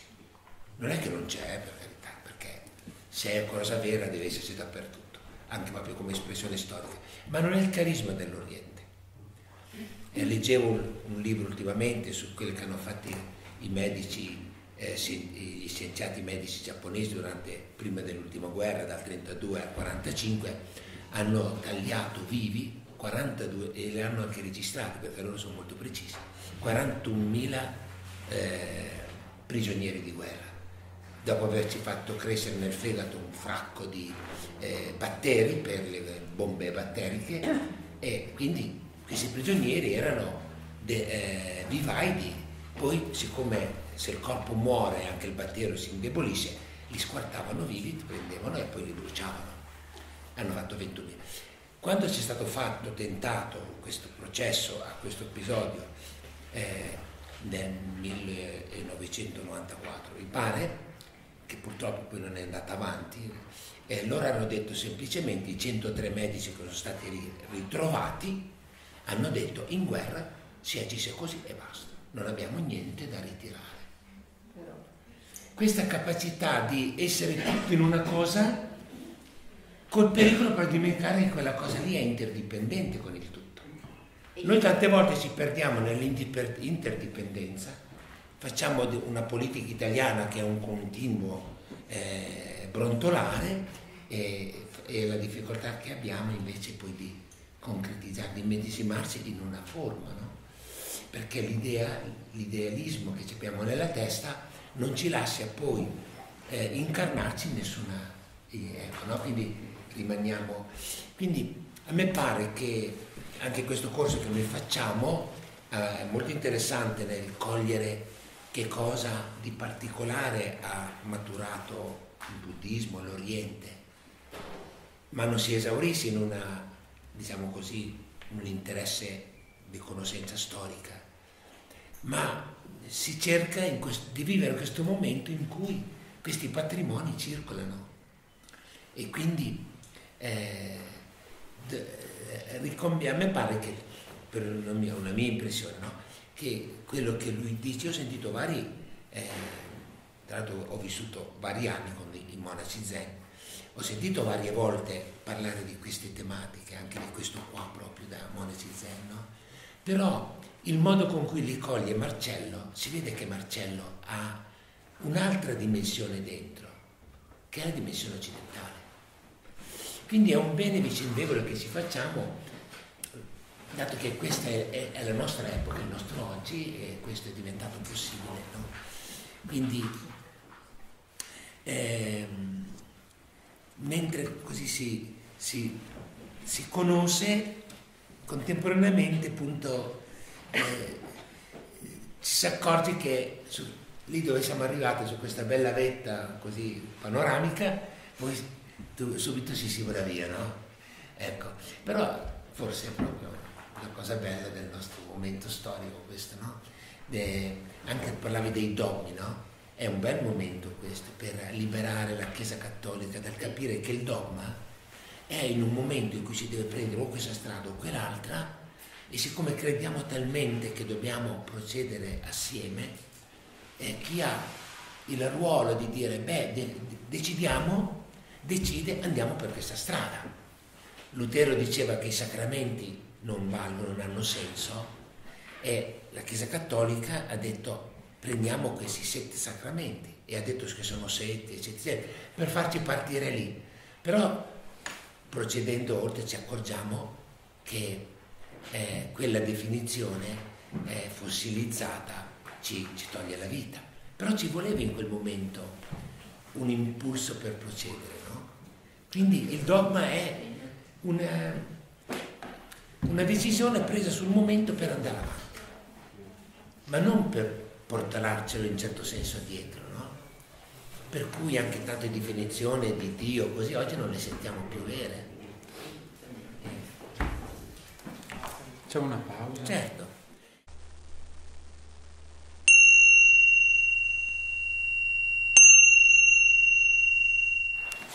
Proseguendo nella lettura del testo, saltiamo un po' di righe, volevo sottolineare a pagina 32, verso la fine, la colonna sinistra,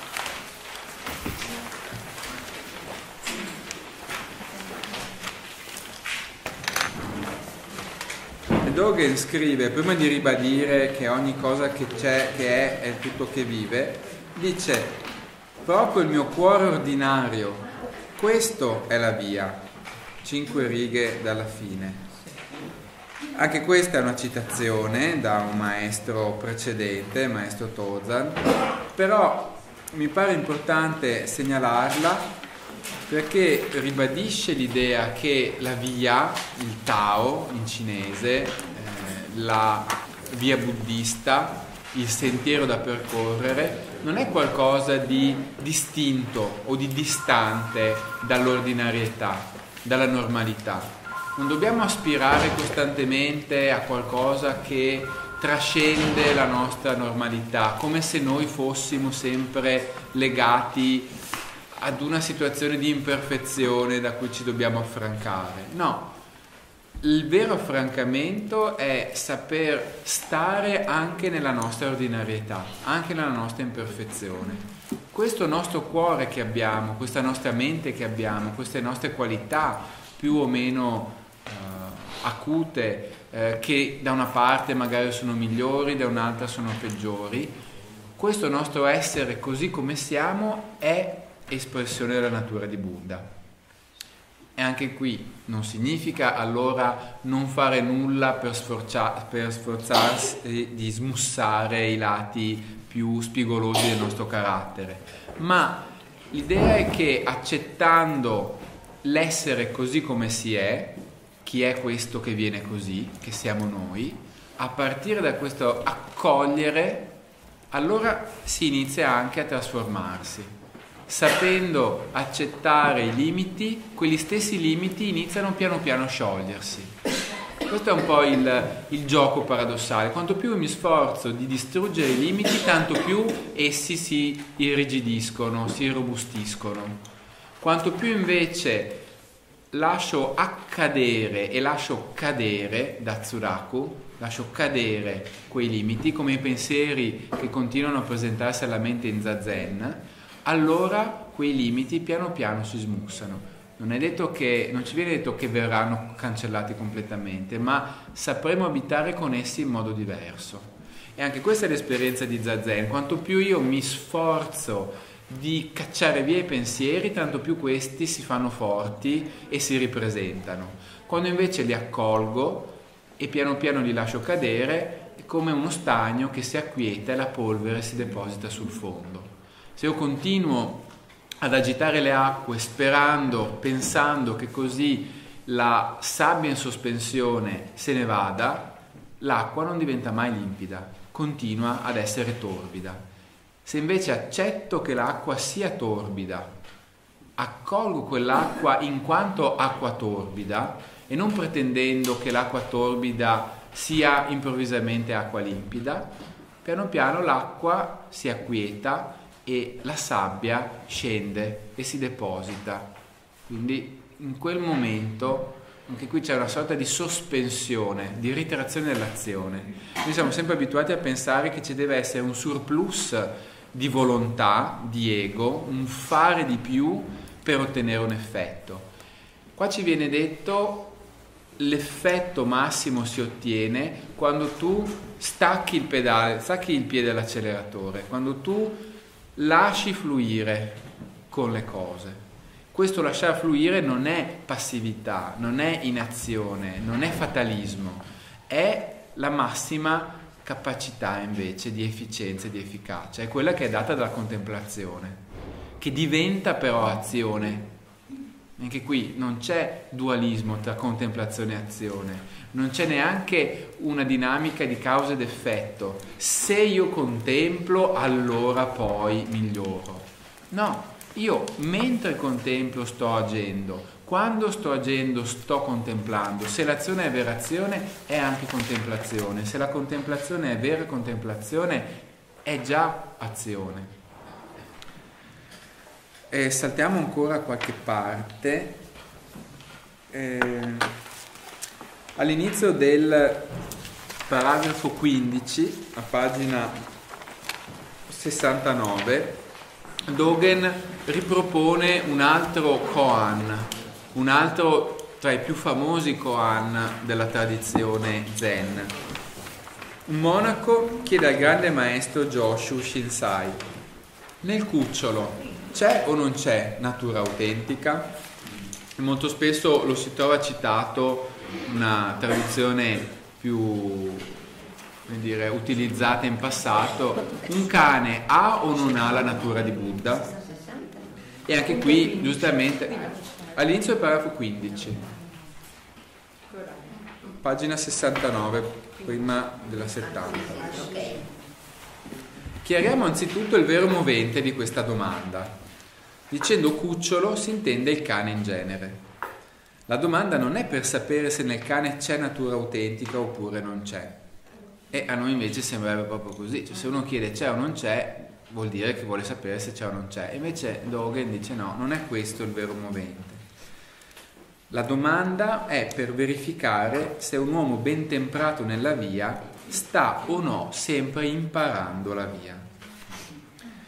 È risaputo che nessuno ama imbattersi, anche solo per sbaglio, in situazioni pericolose. Ciò nonostante, quel monaco aveva il vizio di trattare il suo maestro, che praticava la via da 30 anni, come un santo solo per metà. Qui c'è un po' della tipica ironia anche zen. Cioè, trattare, fare delle domande un po' pericolose o anche impertinenti a un maestro vuol dire giocare, scherzare col fuoco, perché poi i maestri zen ogni tanto rispondono con una bastonata, non solo, certe volte, certe volte tagliano il dito. No, no, ma eh, questo effettivamente era uno dei mezzi che venivano impiegati ma che poteva di nuovo diventare fonte di attaccamento, perché se la bastonata viene replicata come un dogma, e se ogni volta che mi fanno una domanda io rispondo come il maestro che ha tirato un bastone, allora io non sono più nella verità, non sto più testimoniando la verità. Quindi di volta in volta bisogna saper corrispondere, con rispondere alla situazione e non sempre a domanda uguale si deve rispondere con risposta uguale. E questa è un'altra delle cose che scombina le carte quando noi ci aspetteremmo una equivalenza di situazione. Questo lo sanno anche i, i genitori quando talvolta a, ai figli diversi che fanno le stesse richieste rispondono in modo diverso. Talvolta magari lo fanno sbagliando, talvolta invece lo fanno con saggezza, perché alla stessa domanda posta da un'altra persona bisogna rispondere con un'altra risposta i figli che non capiscono, allora dicono, eh, la, la parola figlio del prodigo in un certo senso è un modo di rispondere diversamente a due domande che sono due domande di figli e in quanto domande di figli sono domande autentiche e identiche ma a cui bisogna corrispondere diversamente per eh, generare testimonianza della natura autentica. A questa domanda nel cucciolo c'è o non c'è natura autentica? Joshua risponde no.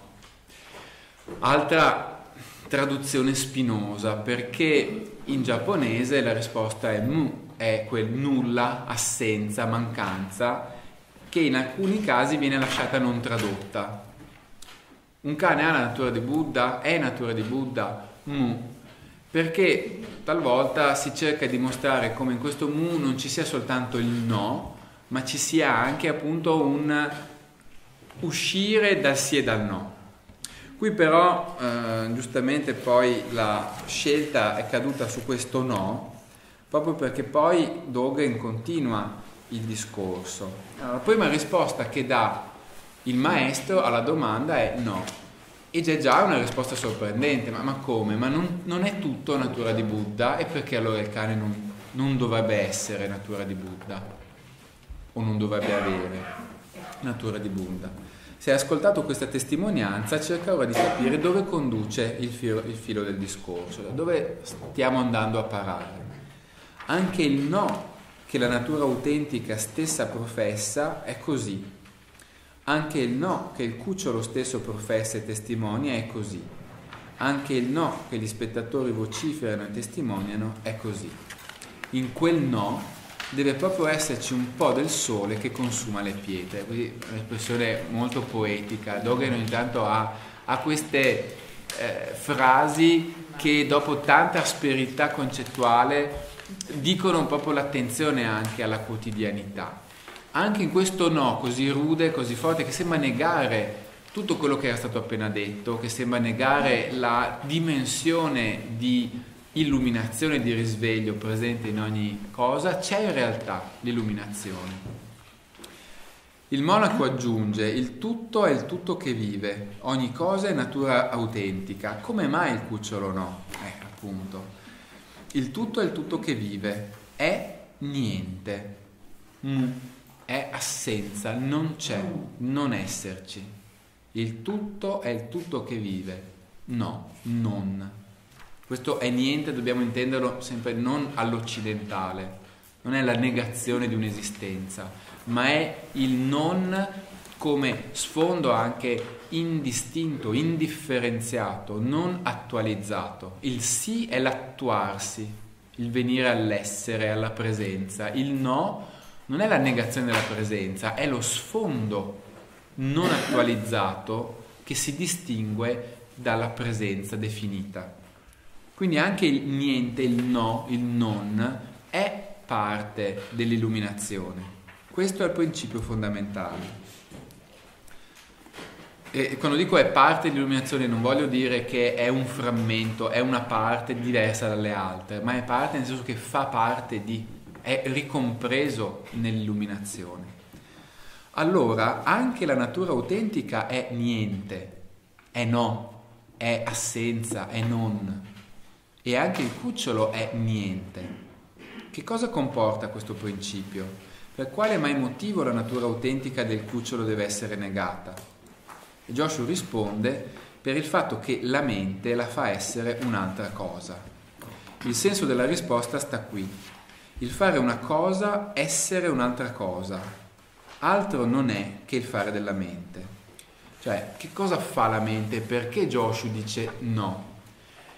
Io la, leggerei così. Eh, il problema è che se noi iniziamo a dire il cane è natura di Buddha, sì, possiamo fare questa equivalenza, allora iniziamo a sottomettere la natura autentica al gioco logico della mente, dell'intelletto, che equipara una cosa ad un'altra, che discrimina prima e poi cerca di tenere insieme, cerca di unire, che separa e poi ha bisogno di connettere. Da una parte c'è il cucciolo e dall'altra c'è la natura autentica ed è proprio quello che non bisogna fare.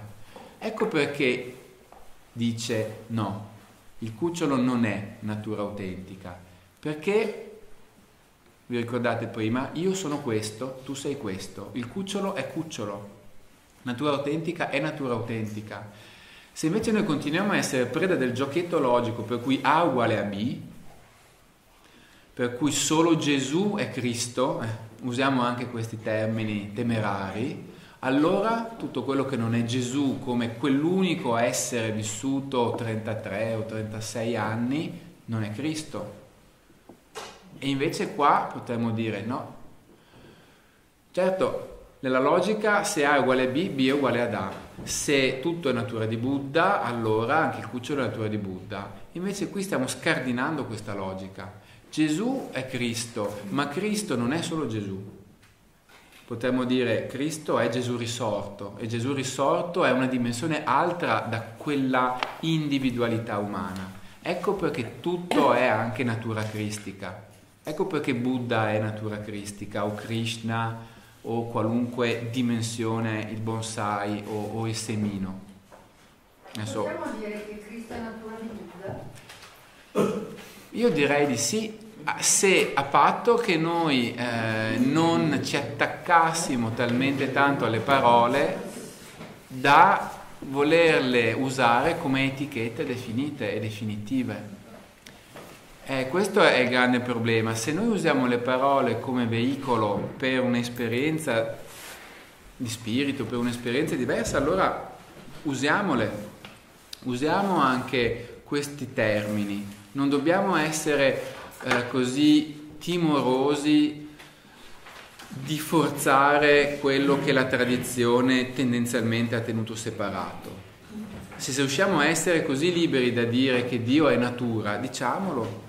Se siamo così liberi come Eckhart da dire prego il Dio che mi liberi da Dio, diciamolo. Se però questo diventa una nuova forma di idolatria o se questo non ci aiuta a intraprendere un certo tipo di esercizio spirituale di liberazione, allora dobbiamo stare attenti. Cioè tutto secondo me si, si gioca nel modo in cui noi riusciamo a, anche a reagire e a interagire con le parole che usiamo, perché le parole sono degli strumenti molto potenti anche nel momento in cui noi cerchiamo di sminuirne l'importanza. Diciamo, beh, in fondo non sono così importanti, quindi le usiamo liberamente e lì si annida la trappola perché rischiamo di farci prendere una specie di frenesia, di fregola che ci fa confondere tutto con tutto.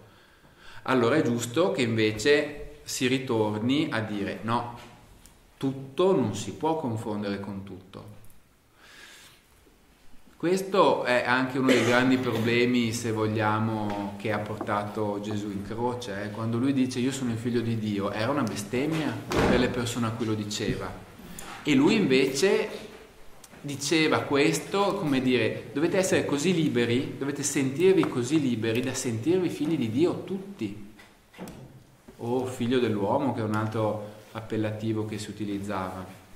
Questo può diventare bestemmia se noi siamo così attaccati alle parole da non capire che cosa sta transitando attraverso di esse e può diventare invece fonte di salvezza di liberazione se riusciamo a cogliere quello spirito che appunto passa. Però viceversa anche una libertà totale non consapevole può diventare fonte di sviamento. Sapete che nella epoca contemporanea, soprattutto adesso meno, negli anni 80, 90, c'erano un sacco di correnti, New Age, Next Age, che facevano un grande potpourri di tutto, un po' di cristianesimo, un po' di buddismo, un po' di induismo, e, ma anche con diciamo, le migliori intenzioni cercare di trovare gli elementi considerati più eh, importanti, fondamentali delle grandi tradizioni per spremerne il succo. Il problema è che talvolta, quasi sempre forse, si rischia di confondere tutto e di non trovare il succo di nulla. Allora, l'idea è che forse essendo eh, fedeli alla propria dimensione, cristiano o buddista, si riesce a essere più universali che non pensando di essere universali, confondendo tutte le cose e si diventa soltanto parziali. L'avevo anche citato forse un'altra volta l'esempio di questo tipo. Eh, rischio sempre di scadere sul melenso, però non ne trovo altri. È come quando ci si innamora di una persona e si dice io amo quella persona e la amo con tutto me stesso e non pretendo che tutti amino quella persona come me, quella persona che io amo, ma posso capire che un'altra persona che ama la sua moglie, il suo marito o la sua ragazza, il suo compagno, viva quella stessa esperienza d'amore con un'altra persona, con la mia intensità e che sia nell'amore, ecco di nuovo, non possedere l'amore, ma essere nell'amore con la stessa dimensione. Non ho bisogno di dire tu devi amare la persona che amo io, perché solo questa è la vera esperienza d'amore. Quindi io non devo per forza dire tutti devono pensare eh, alla dimensione del Buddha, alla dimensione del Cristo per vivere una dimensione di pienezza dell'umano. Ma se io vado fino in fondo nel mio cammino di fede cristiano, nel mio, nella mia esperienza di cammino buddista, allora secondo me incontro l'umanità molto più profondamente che se io pensassi di fare un puzzle o un vestito rattoppato con tante pezze. Poi a ognuno il compito di capire qual è il suo percorso eh, Panica diceva io sono al 100% cristiano, al 100% hindu, al 100% buddista e al 100% appartengo alla dimensione secolare.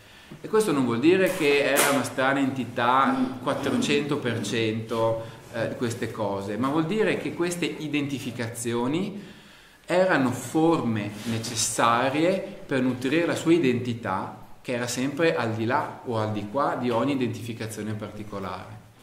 E se io penso che la mia identità mi debba distinguere, debba essere un'identità esclusiva dell'alterità, allora non sono forse tanto nella verità quanto quando penso che l'identità sia un'identità inclusiva dell'alterità.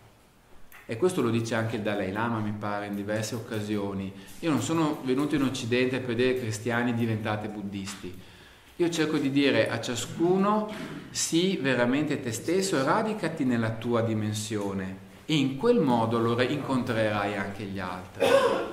Questo secondo me è anche il sentir transitare lo spirito. Lo spirito soffia dove vuole. Chi non è contro di noi è con noi. Sono tutte frasi che mi pare dicano la bellezza della pluralità, l'importanza del sentire che non c'è nessuna figura che esaurisce la totalità dell'esperienza umana.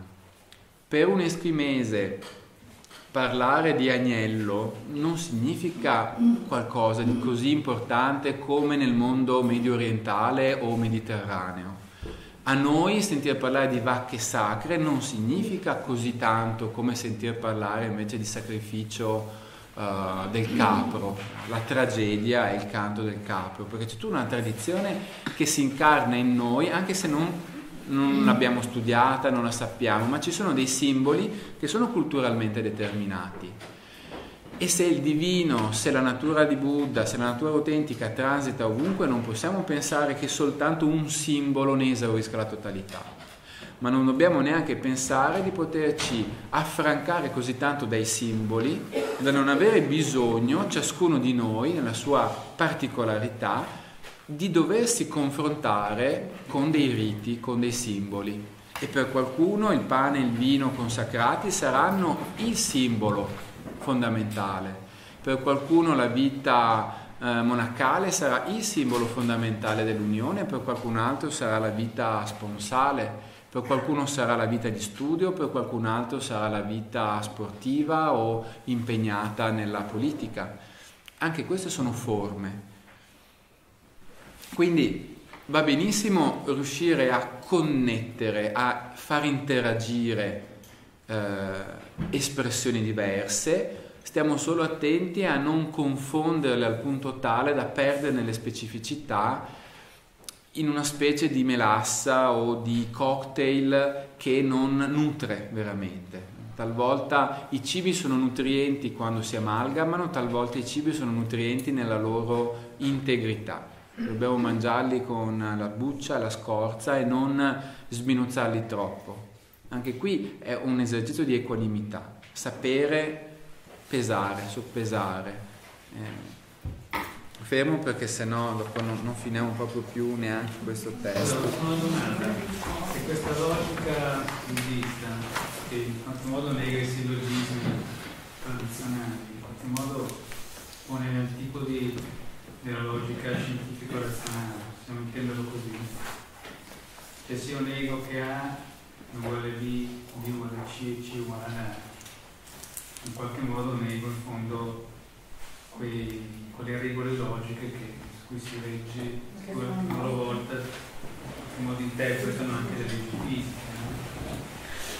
Sì, a parte che anche qui adesso non vorrei farla troppo lunga, però a parte che nella fisica, nella meccanica quantistica, certe leggi che valgono per la fisica dei grandi corpi già non si adattano più e quindi se io voglio misurare contemporaneamente la posizione e la velocità di una particella subatomica non lo posso fare perché interferisco con quel processo. Eh, anche quando voglio misurare o cercare di monitorare eh, dei corpi celesti che stanno a, eo- a infiniti anni luce da noi, in realtà io li sto guardando come erano anni, secoli, millenni fa. Quindi le leggi normali della fisica che sono regolate da certe forme logiche eh, sono in realtà molto limitate.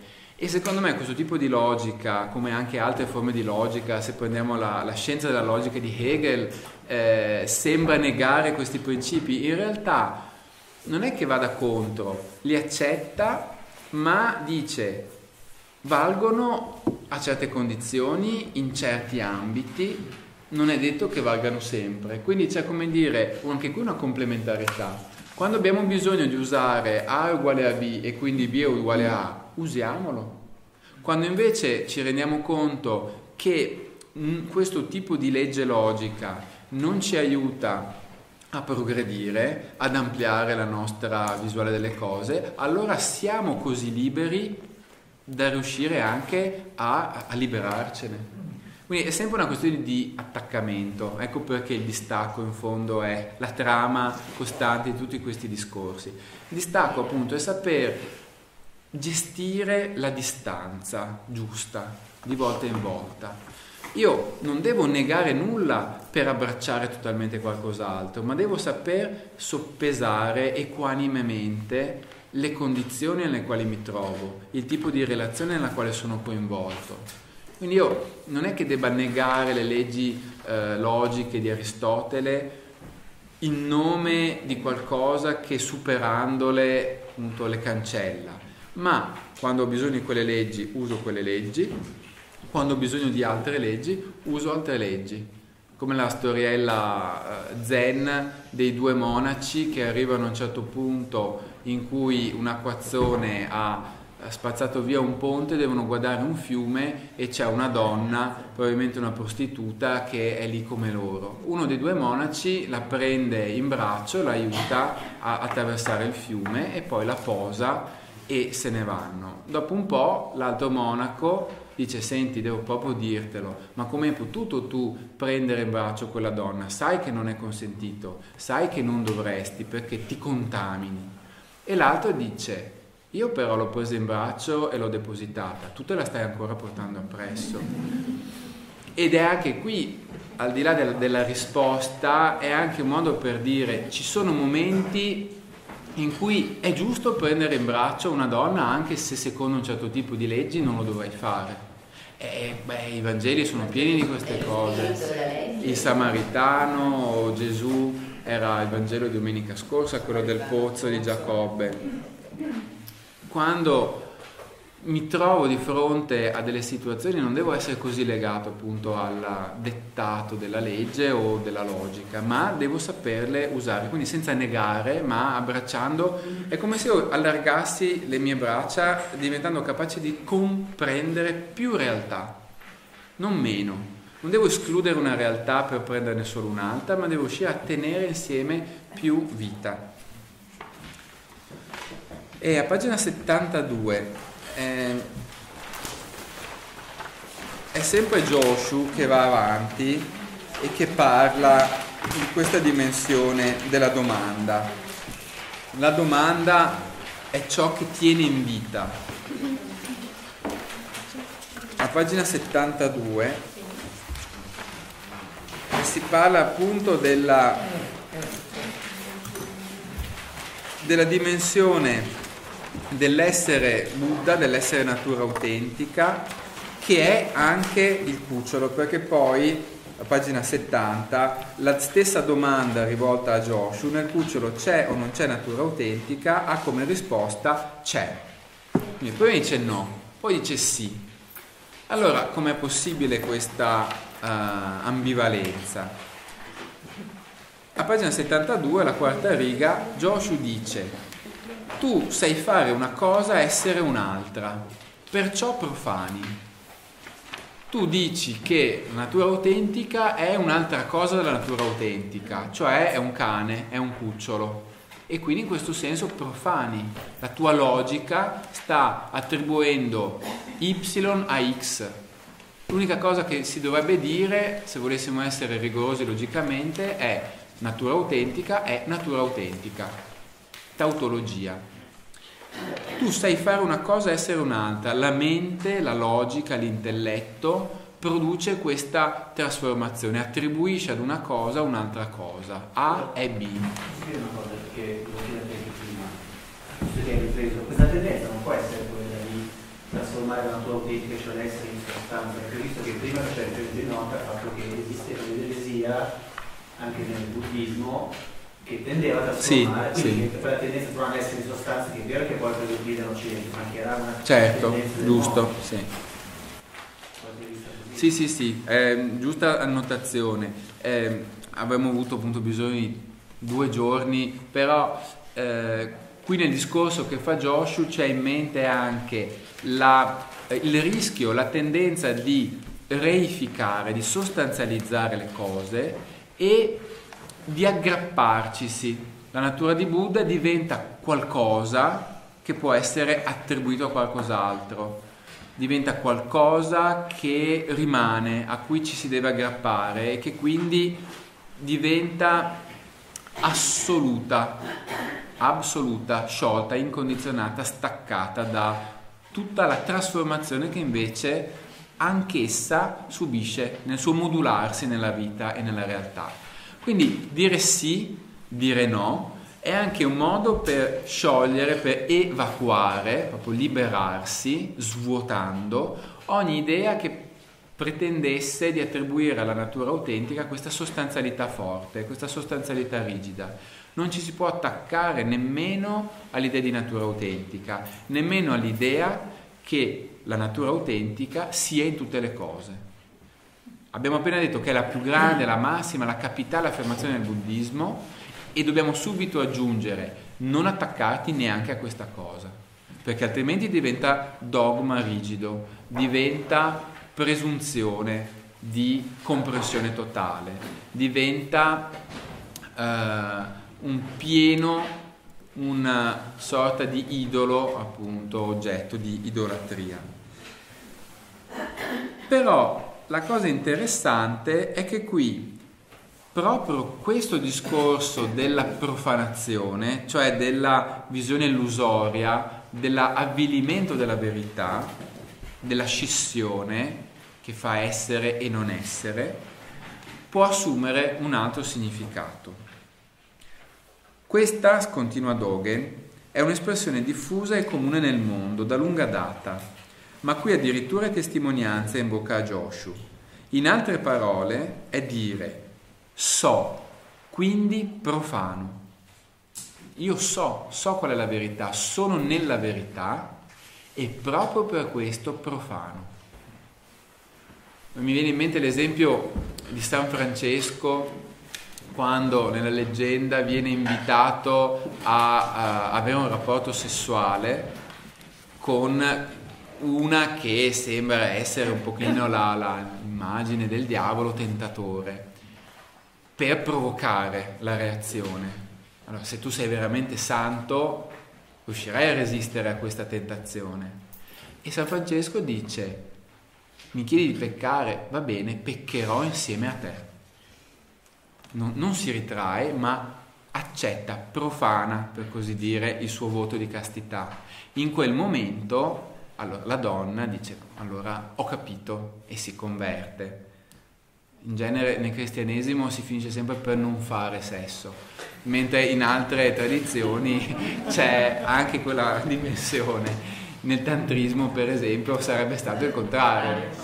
Comunque, al di là delle battute, la, la cosa interessante è che talvolta accettare la profanazione è il modo di liberarsi dal peccato, ma anche qui citavamo poco fa l'episodio del pozzo di Giacobbe, Gesù che parla con una samaritana in un certo senso compie una profanazione, ma come tu proprio con loro ti vai a mescolare, ma quando, quando va a mangiare eh, Zaccheo, dei pubblicani, peccatori, è, è un continuo di questo mescolarsi, questo profanare e profanarsi rispetto a una certa idea di purezza.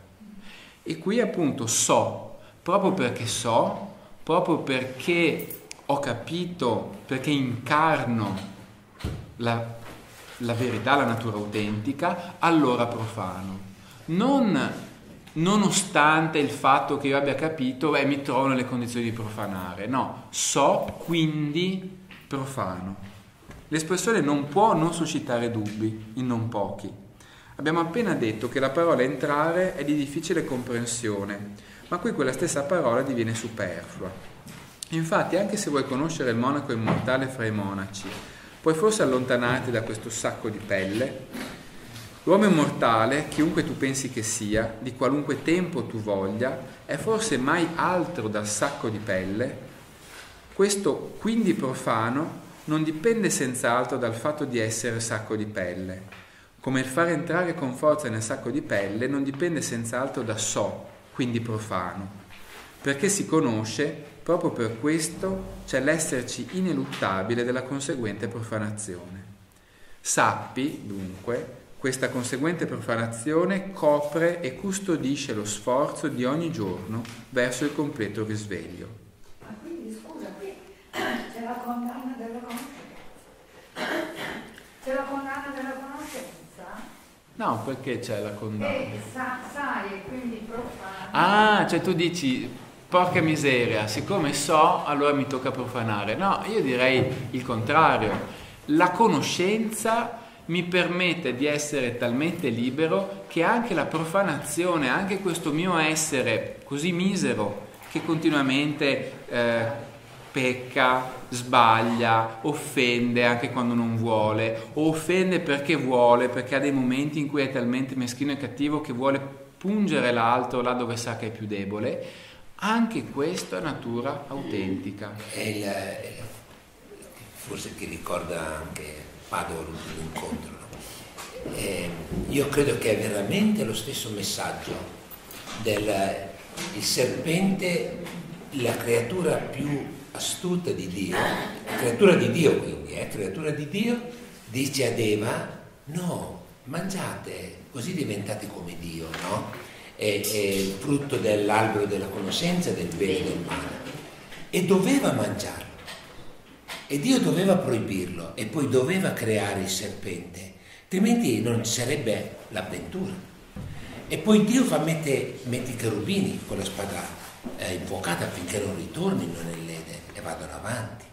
Dovevano conoscere l'io, conoscere la, altrimenti rimanevamo come la New Age in, una, in uno stato di innocente puer, puerilità, ma noi saremmo rimasti, non saremmo non avremmo avuto accesso a, a, quella dimensione che poi dopo è tutta l'avventura dell'esistenza. Eh, potremmo rimanere nell'immobilità della, di una innocenza puerile, primordiale, idilliaca. Ecco, quindi è proprio la scelta dall'idillio del rimanere innocenti, oppure se procedere conoscere il bene e il male.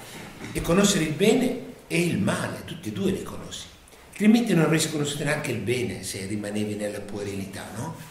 E io credo che è veramente lo stesso messaggio e penso di averlo scritto tante volte, ogni qualvolta mi è dato, che per me questo è il punto dove io mi sento veramente eh, all'unisono con il buddismo, perché sento che è all'unisono in forme differenti dello stesso cammino che faccio come cristiano. E perché Dio doveva crearci in modo tale da mandare suo figlio a soffrire sulla croce, no? Per una di quelle domande che non hanno risposte, ma sono proprio quelle domande che, ci, che poi dopo ci accorgiamo che stanno dicendo la nostra vera realtà, mentre domande impostate differentemente che vogliono dare una risposta e mettere a posto, ci accorgiamo che eh, sono sterili, no? è, credo che veramente eh, è la tentazione del, de, la, tentazione di mangiare il frutto della conoscenza del bene e del male. Rimanere nell'idillio innocente e puerile o, o accedere alla vita adulta con tutta questa sua lotta che comporta, eccetera, eccetera. No? E quello che mi stupisce è che a istigare così è il serpente creatura di Dio, che viene da Dio come lo stesso ordine Dio ha dato, se lo mangiate morirete. Quindi eh, anche, il, credo anche la, l'accesso, l'inca, l'incamminarci nella via che poi comporta la morte. Se rimanere in uno stato di assolutezza oppure invece eh, accedere a quel, quel divenire no? che poi è la storia e con tutte le sue tribolazioni eccetera eccetera e contraddizioni però l'unica strada dove poi avrebbe potuto attuarsi l'esperienza della libertà l'innocente non ha libertà chi non, la, chi non mangia il frutto della conoscenza del bene e del male non conosce la libertà. Io penso che Dogen qui veramente dica, indichi la, diciamo così, eh, ciò che quel, quel brano del, della Genesi eh, intende dire a noi. Quindi per andare avanti bisogna disobbedire. Ah, certamente. Beh, i figli, i figli crescono disobbedendo ai genitori. In fondo è la presenza del male che consente la libertà in definitiva. Però se di, se di questo poi se ne fa ecco. un'argomentazione, eh, qui la domanda di fondo, ma chi sono io che adesso mi dico, allora se è così adesso me ne vado a disobbedire, a peccare. No? Ecco, fare la domanda a se stesso, ma allora cosa sono io? No? Ecco. Hai scelto di fare che... Certo è che se io morivo a tre anni, tutte le corbellerie che ho fatto nella mia vita non le avrei fatte. Però neanche le cose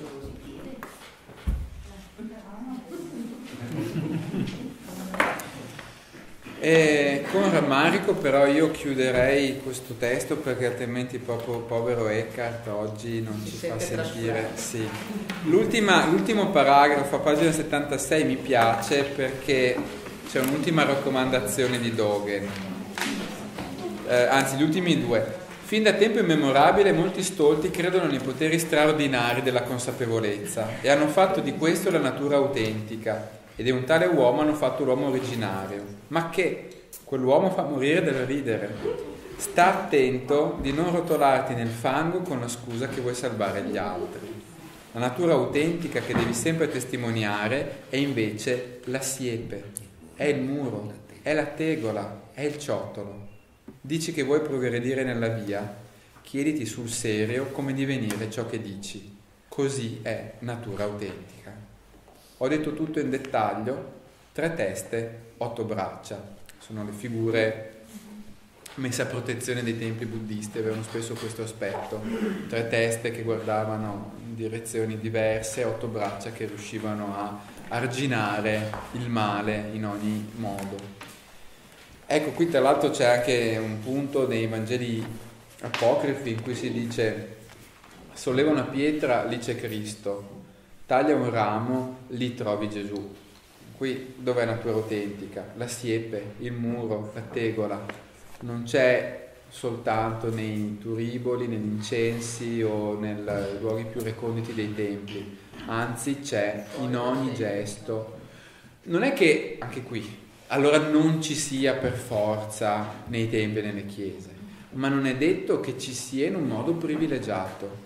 Abbiamo bisogno di luoghi particolari per simboleggiare il nostro eh, legame con l'invisibile, con un certo tipo di eh, testimonianza, ma quei luoghi sono solo alcune testimonianze per ricordarci che è tutto luogo di natura autentica, come i tori dello shintoismo, quei portali che stanno spesso in mezzo alla natura o sulla riva del mare, che aprono sulla natura e che da una parte e dall'altra c'è natura. Non sono necessariamente degli ingressi che danno verso un luogo chiuso, ma di qua c'è natura, di là c'è natura. Indicano una transizione, un passaggio dalla natura alla natura. Allora, vediamo almeno nel tempo che ci resta e poi decideremo se riprendere la volta prossima. Questo testo di Eckhart che è forse appunto uno dei più belli e più profondi di tutte le cose scritte non solo da lui ma in generale nella spiritualità occidentale. E anche da un punto di vista filosofico tra l'altro ci saranno autori come lo stesso Hegel, che si rifaranno ai testi di Eckhart pensandoli da un punto di vista eh, specificamente filosofico. Come tutti questi sermoni tedeschi, abbiamo visto, sono pronunciati in tedesco, quindi non in latino, non nella lingua colta dell'epoca, ma nella lingua eh, parlata dal popolo sono sermoni che Eckhart pronunciava o a gruppi di novizi o a suore quando celebrava la messa o anche talvolta ai contadini della sua uh, diocesi di Erfurt. Partono questi sermoni da un versetto citato in latino che poi in genere Eckhart traduce, da un versetto uh, del Vangelo. In questo caso è uno dei più famosi versetti tratti dalle Beatitudini, dal capitolo 5 di Matteo, Beati i poveri di spirito perché di essi è il regno dei cieli. E inizia il sermone appunto con questa citazione. Qui Eckhart non dice nemmeno Gesù disse, ma la beatitudine aprì la sua bocca di saggezza e disse, Beati sono i poveri nello spirito, loro è il regno dei cieli tutti gli angeli e tutti i santi e tutto ciò che è nato deve tacere quando parla questa eterna sapienza del Padre, perché tutta la sapienza degli angeli e di tutte le creature è un puro nulla di fronte all'abisso senza fondo della sapienza di Dio. E cosa ha detto questa sapienza? ha detto che i poveri sono beati. E parte qua con la sua elaborazione di questo, di questo versetto. La povertà è di due tipi. Vi è una povertà esteriore, che è molto buona, è molto da lodare nell'uomo che la prende su di sé volontariamente. Quindi attenzione, non diciamo che siccome i poveri sono beati, allora è giusto che 3 miliardi di persone non abbiano, non abbiano di che eh, vivere o che appunto è giusto che restino in queste condizioni. È molto buona, è molto da lodare nell'uomo che la prende su di sé volontariamente, per amore di nostro Signore Gesù Cristo, perché Egli stesso l'ha praticata sulla terra. Di questa povertà non voglio dire altro. Ecco, chiuso subito il capitolo su questa che è la prima forma, la più evidente, la più eh, diffusa purtroppo, perché non è spesso una povertà volontaria, ma diciamo che è quella che meno diffusa, ma si può vivere a livelli diversi nella quotidianità. C'è però un'altra povertà, una povertà interiore, che è da comprendere in quella parola di nostro Signore che dice beati sono i poveri nello spirito. Ora vi prego di essere poveri in tal modo per poter capire questo discorso, perché, ve lo dico nell'eterna verità, non mi comprenderete se non vi renderete uguali a questa verità di cui ora vogliamo parlare. Dire, c'è la prima povertà, quella esteriore, quella che, a cui ci si può esercitare e non è però la più importante. È come dire, quella è quasi una povertà seconda, derivata rispetto a questa che è la vera povertà, che è la povertà di spirito.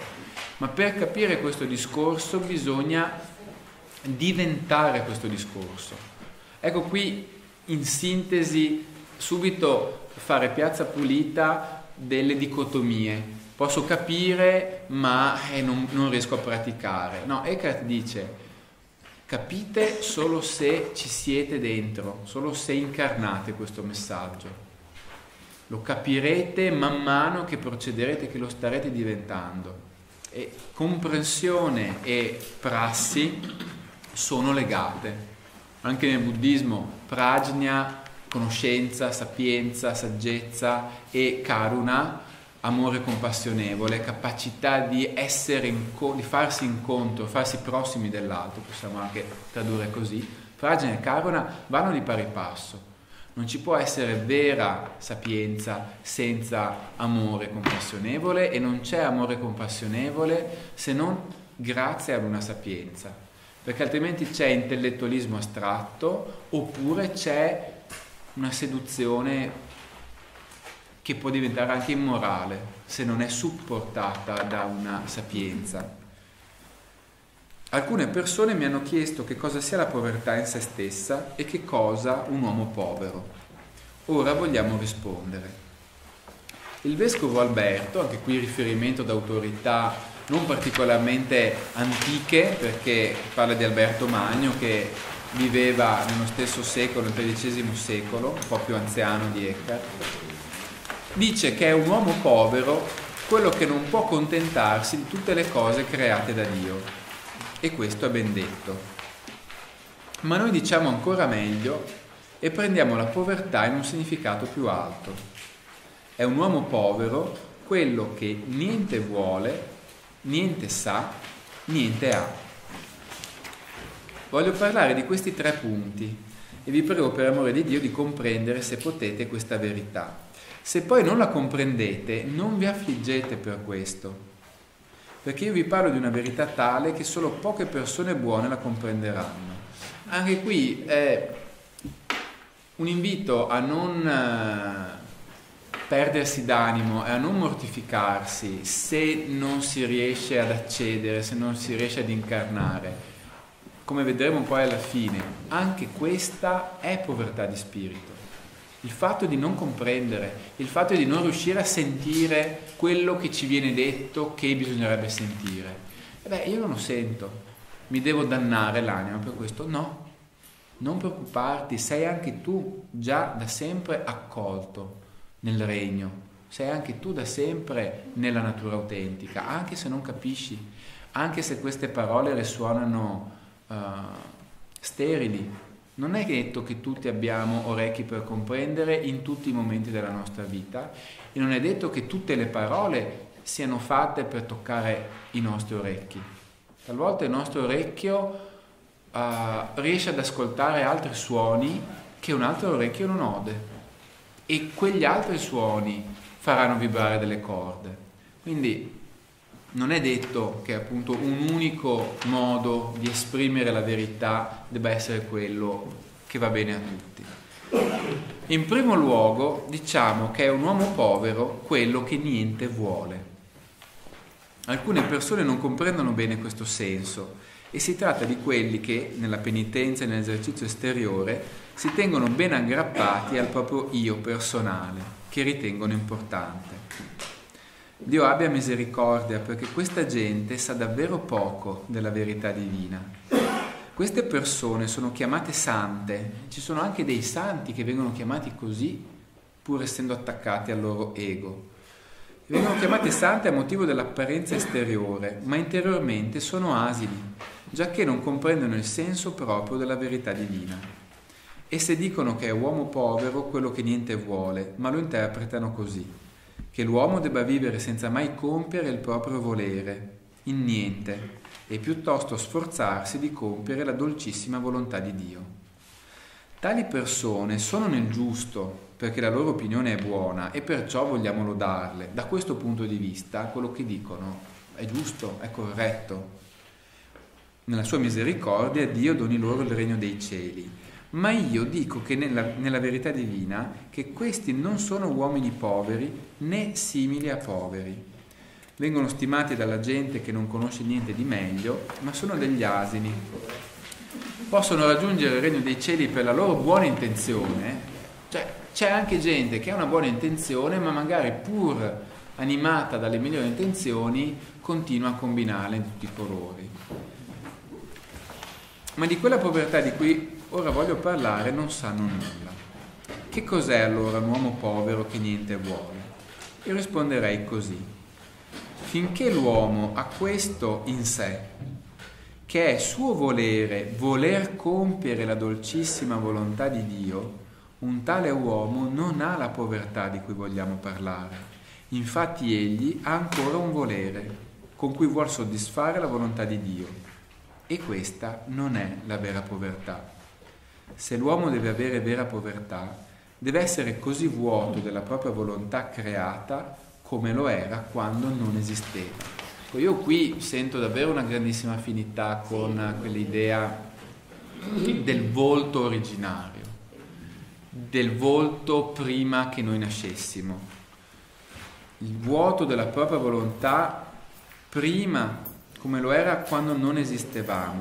Qui è anche il discorso che si applica alla tensione con cui spesso ci si siede in zazen se io voglio che lo zazen diventi pratica trasformativa per raggiungere l'illuminazione, allora non serve a nulla. Come quando i monaci zen dicono, lo, zen, lo zazen non serve a nulla e se non ti rendi conto che non serve a nulla, allora veramente non servirà a nulla.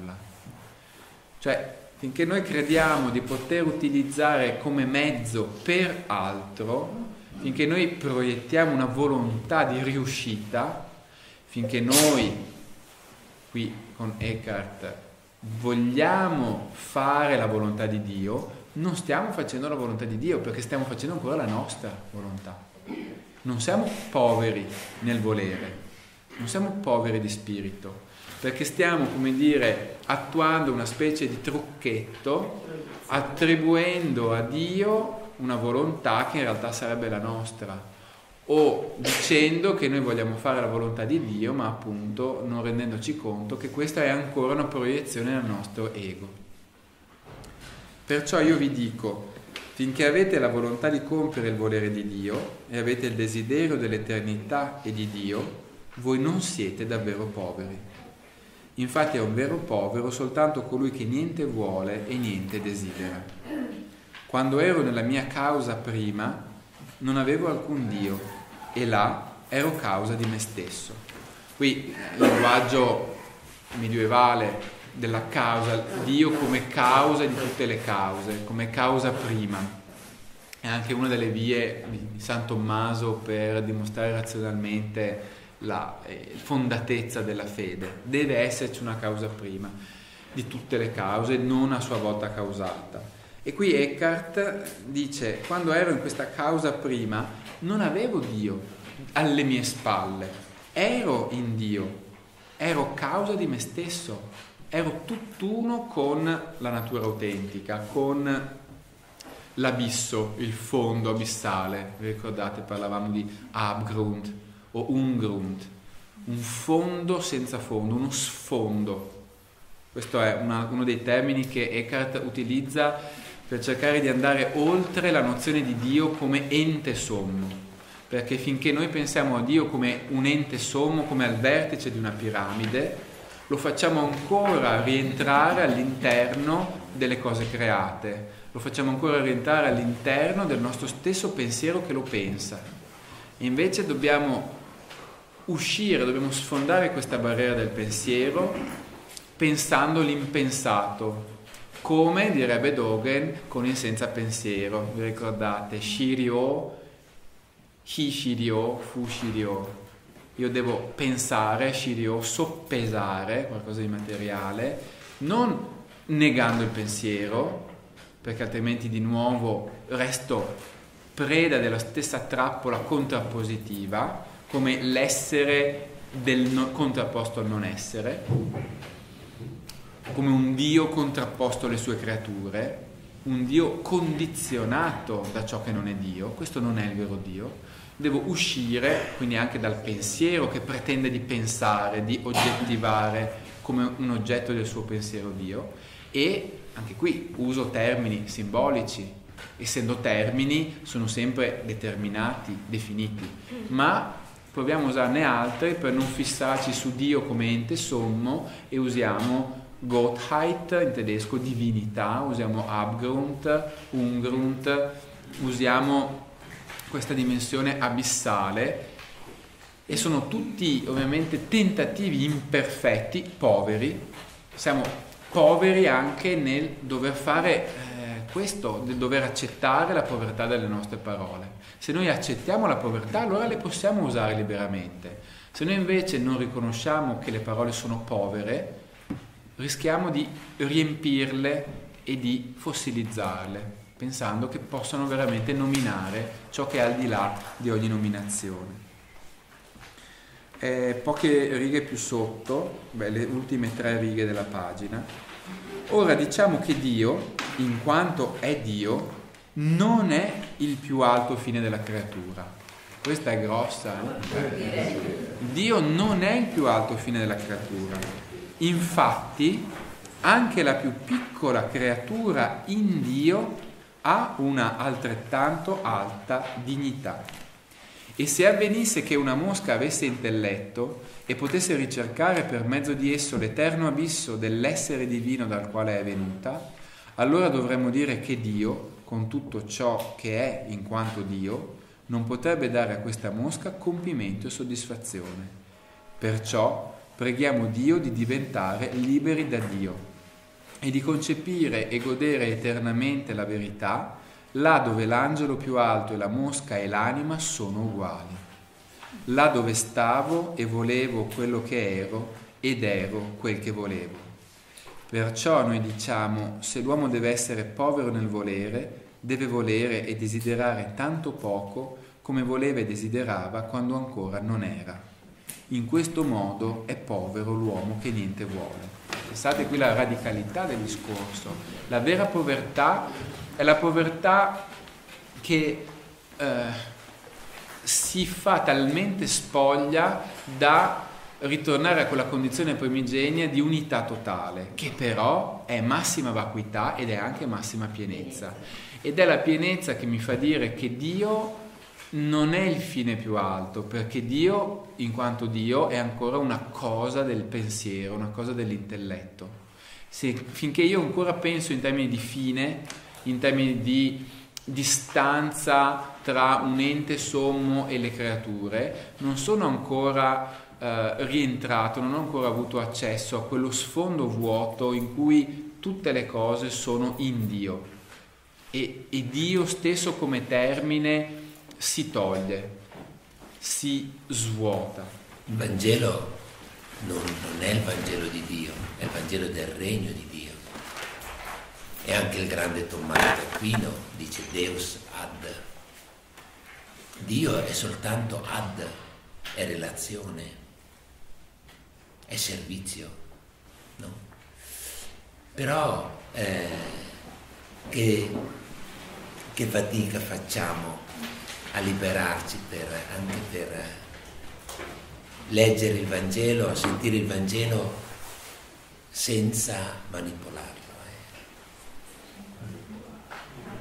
Eh. Dicevo, ma perché siamo stati manipolati? C'è un disco che sì. dice appunto Dio non è più grande di... Angelus Silesius, che è un uh, mistico poeta del XVII secolo in Germania, Johannes Scheffler si chiama e poi assume questo nome, eh, scrive Il Pellegrino Cherubico del Cherubinische Wandersmann, che è una raccolta di distici poetici, di cui uno dei più famosi è quello della rosa, che fiorisce senza perché, one varum, non ha motivo, non c'è un perché, non ha bisogno di un perché per fiorire la rosa. Siamo noi e il nostro intelletto sempre alla ricerca di cause, di motivazioni logiche che richiede una causa, invece è pura gratuità. E infatti il pellegrino cherubico di, di Silesio si iscrive proprio in questa storia della mistica occidentale che da Eckhart passa attraverso Cusano, eh, e arriva appunto a Silesio, Jacob Böhme e poi anche attraverso anche molte figure mistiche, Margherita Porete bruciata sul rogo, oppure altre figure contemporanee come Simone Weil che testimoniano in forme diverse, con linguaggi diversi, questa dimensione della gratuità, della spontaneità.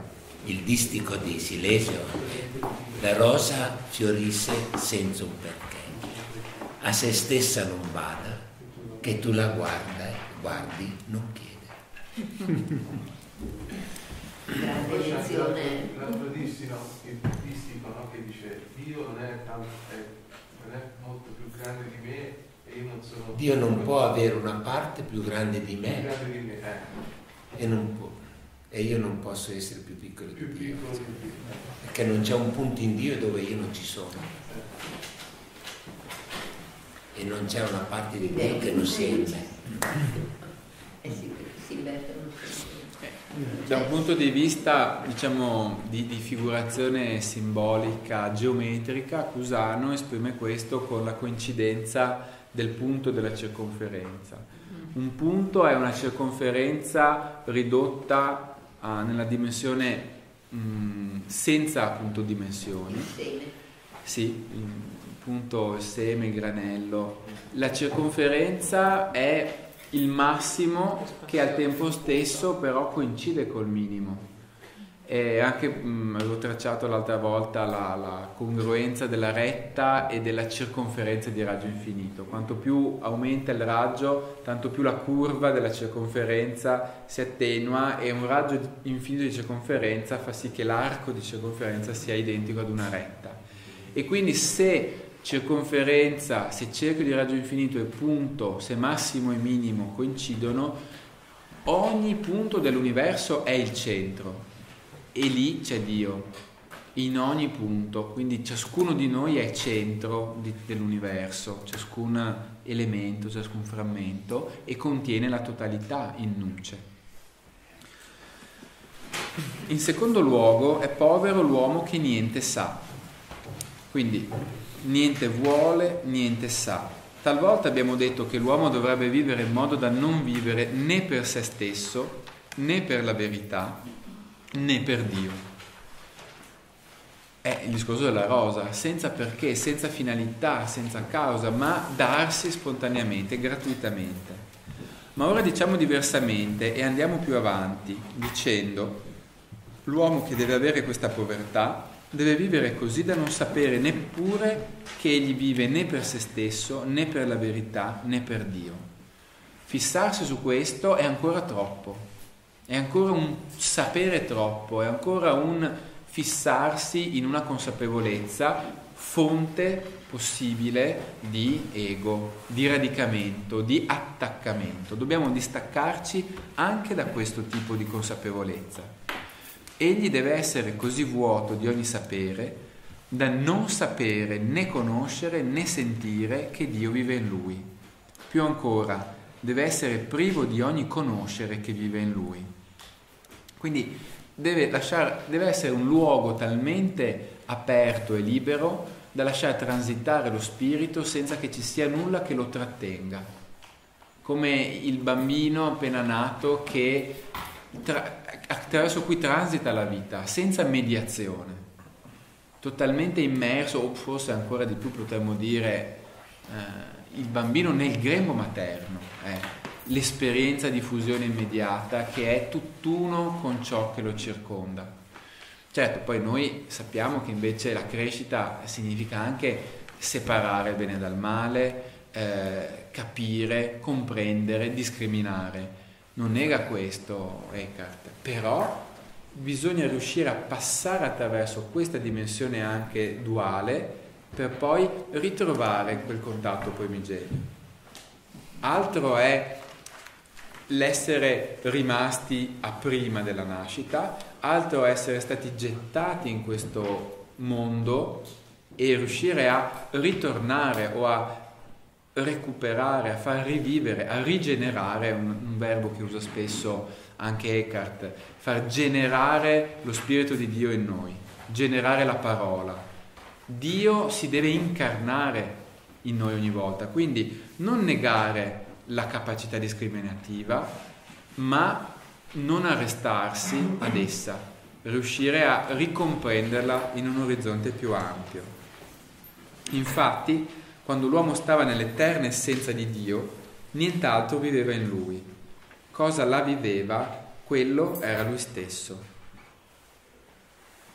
Perciò noi diciamo che l'uomo deve essere così privo del suo proprio sapere come lo era quando non era ancora e che lasci Dio operare quello che vuole e se ne stia vuoto. Che qui vuoto non vuol dire eh, lobotomizzato, ma vuol dire aperto, disponibile, lasciarsi attraversare in quanto luogo che accoglie la presenza divina. Quando si è luogo trasparente che accoglie, allora non c'è più questa distanza, non c'è più questa volontà che sempre vuole attaccarsi, fissarsi e quindi anche possedere, perché il fissarsi su una verità diventa subito anche un voler possedere quella verità. L'aggrapparsi ad una certezza vuol dire subito anche voler possedere quella certezza. E anche nelle relazioni umane affettive succede questo. Voler essere totalmente aggrappati ad una persona rischia sempre di convertirsi nel voler possedere quella persona. A pagina successiva, a metà, io dico perciò che l'uomo deve stare così libero e vuoto, ledig und free, dice in alto tedesco, da non sapere né conoscere che Dio opera in lui e in questo modo può possedere la povertà. Ecco questa la figura del santo o del saggio anche nel buddismo. È colui che è talmente libero che non sa nemmeno di fare ciò che gli altri, ancora legati al dualismo, alla discriminazione, chiamano bene. Noi diciamo che bravo, che santo, fa il bene e il santo dice come? Io faccio, punto. È come se noi dicessimo inspiro è bene, espiro è il male che viene fuori ma in realtà io non penso a questo, io respiro semplicemente. Oppure che bravo che sei, come sai far battere il tuo cuore tutti i giorni. E noi non, non siamo consapevoli di che il nostro cuore pulsa costantemente. Un saggio povero di spirito non sa di fare il bene. Poi probabilmente mi verrebbe da dire, fa anche fatica e sa quanta fatica c'è, ma accetta quella fatica e nell'accettare quella fatica, quella è la santità. Se per esempio un esempio che mi permette di portare avanti.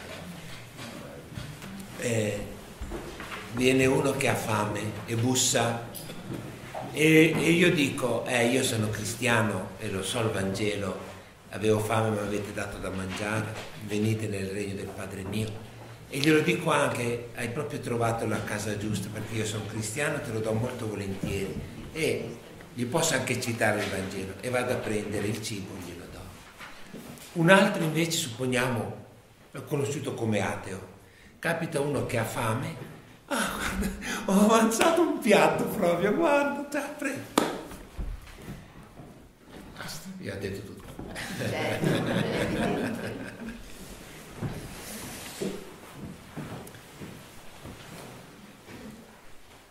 Io dico perciò che l'uomo deve stare così libero e vuoto da non sapere né conoscere che Dio opera in lui e in questo modo può possedere la povertà.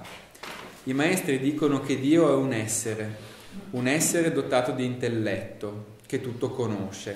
Eh, alcune delle classiche attribuzioni a di Dio, i classici attributi di Dio. Ma io dico, Dio non è né essere né essere dotato di intelletto e neppure conosce questo o quello. Perciò Dio è privo di tutte le cose e perciò è tutte le cose.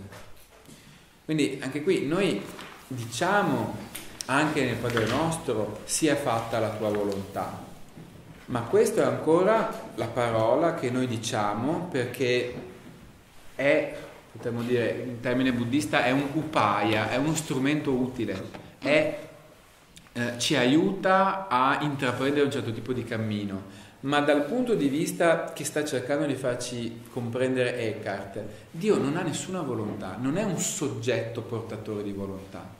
Certo, Gesù insegna che possiamo chiamare Dio Padre, che lo possiamo pensare, che ci si può rivolgere a Lui come un soggetto dotato di volontà, di personalità. È una delle grandi anche intuizioni della eh, storia ebraica, che si può dialogare, dibattere con Dio, che ci si può arrabbiare con Lui.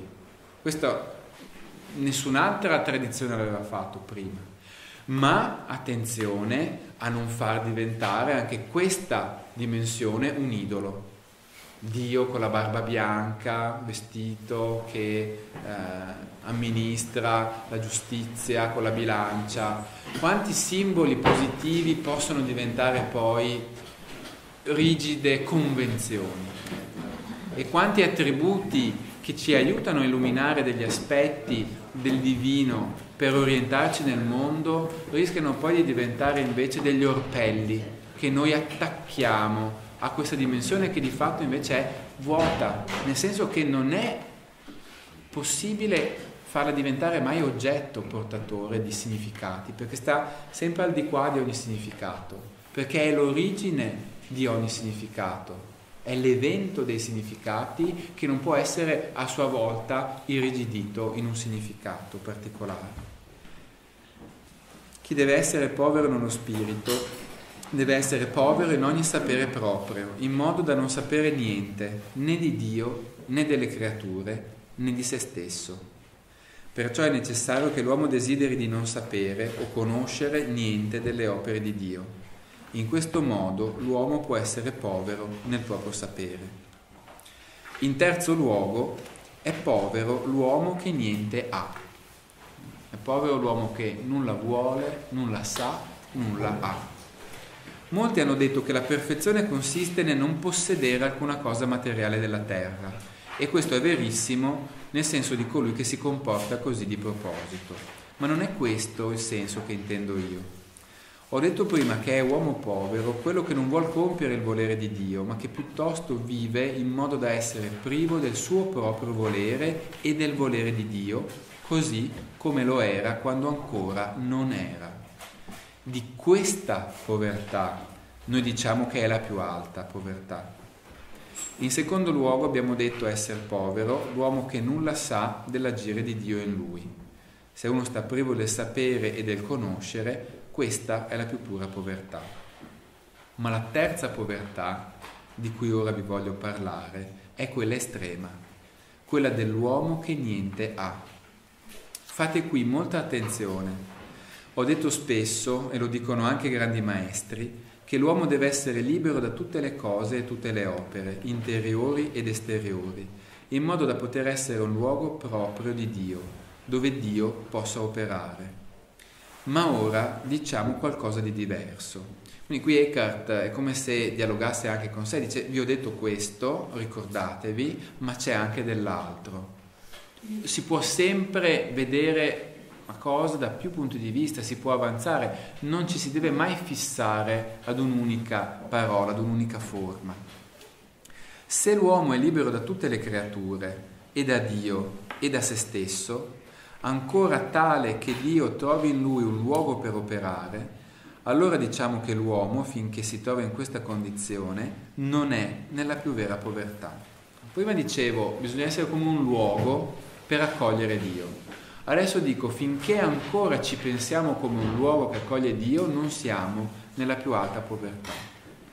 Infatti, per il proprio agire, Dio non cerca un luogo nell'uomo dove poter operare, ma la povertà nello spirito è quando l'uomo sta così privo di Dio e di tutte le sue opere, che Dio, in quanto voglia operare nell'anima, sia lui stesso il luogo in cui vuole operare e questo lo farebbe volentieri.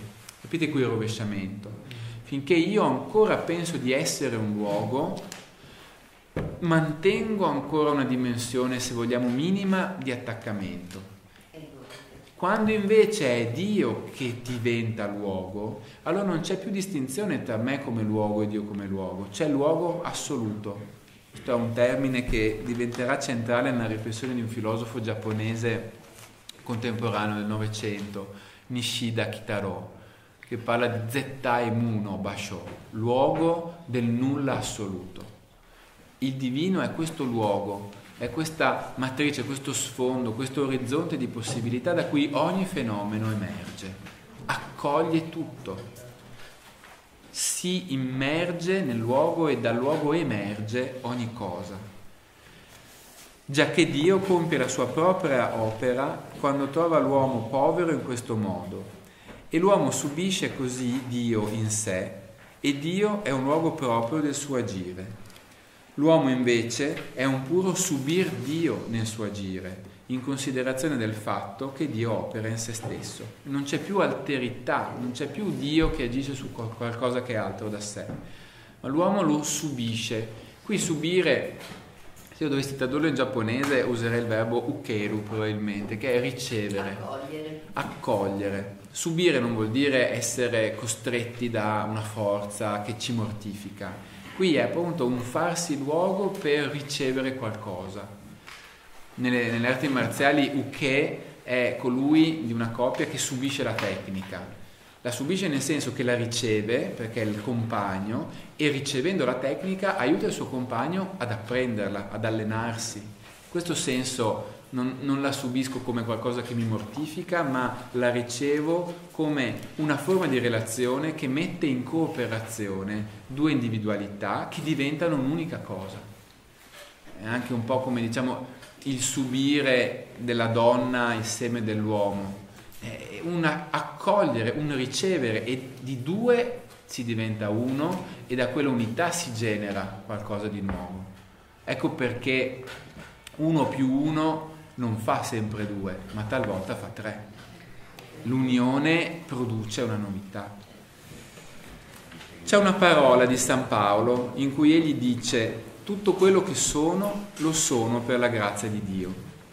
Se ora questo mio discorso sembra tenersi al di sopra della grazia, al di sopra dell'essere, al di sopra della conoscenza, del volere e di ogni desiderio, come può essere vera la parola di San Paolo? A questo proposito si dovrebbe rispondere che le parole di San Paolo sono vere, che la grazia fosse in lui era necessario, perché la grazia agì in lui in modo da portare a compimento come sostanziale ciò che era accidentale. Quando la grazia ebbe compiuto la sua opera e terminò, allora Paolo rimase ciò che egli era. Non è che la grazia quando passa allora ci fa diventare dei supereroi, non è che noi acquistiamo poteri eh, paranormali. La grazia passa, opera e ci lascia così come siamo. Sembra qualcosa di abbastanza avvilente, ma come? Noi vogliamo sempre i segni miracolosi, no? vogliamo essere trasformati per sempre e invece qua ci dice la grazia passa e ci lascia così come siamo. Chi è questo che viene così? San Paolo. San Paolo è santo perché prima anche tagliava le teste e voleva uccidere tutti i cristiani. Non è che quel San Paolo, certo, c'è stata la metanoia, c'è stata la conversione, ma tutto era accolto. Anche il peccato è accolto da Dio. Anche il figlio prodigo, peccando, è accolto dal padre. Il padre lo riceve a braccia aperte quando torna, ma mi verrebbe da dire, non c'è mai un momento in cui il padre manda, dice no al figlio, guarda, in questo momento ti rinnego come figlio. Se poi ti penti allora sì che ti riaccolgo, ma in questo momento io dissento. No, quando il figlio se ne vuole andare, il padre dice va bene, vai. Il figlio chiede la sua parte di eredità, il padre gliela dà. Il padre è sempre con il figlio, anche quando grufola con i maiali e si mangia le ghiande. Quando poi è il momento di ammazzare vitello grasso, ammazza il vitello grasso, in quel momento lì è col figlio. Quando il figlio è da solo e disperato, in realtà anche se il figlio non lo sente, il padre, potremmo dire, è sempre con lui. Quindi c'è questa dimensione di compresenza, di consustanzialità che non muta, in questo senso nella trasformazione della nostra vita c'è un fondo che non muta, ma questo fondo che non muta non è l'essere ontologicamente stabile, solido a cui aggrapparsi, è l'orizzonte, è l'oceano da cui le onde emergono e si immergono. Non c'è oceano senza onde, ma le onde sono sempre nell'oceano. Quindi, scusa, qui voler dire, come dice Paolo rimane ciò che egli era, non tanto Paolo attuale che era stato prima, ma ciò che egli era presso Dio. Eh, questa sì, potrebbe essere un'interpretazione. Il padre, cioè il volto di Paolo prima... Non siamo, cioè, sì, io direi da un lato questo, da un lato c'è questo, dall'altro c'è anche Paolo rimase ciò che egli era con tutti i suoi limiti, con tutte le sue magagne, con tutte le sue eh, anche durezze, perché insomma Paolo certe volte scrive anche delle cose molto, molto dure.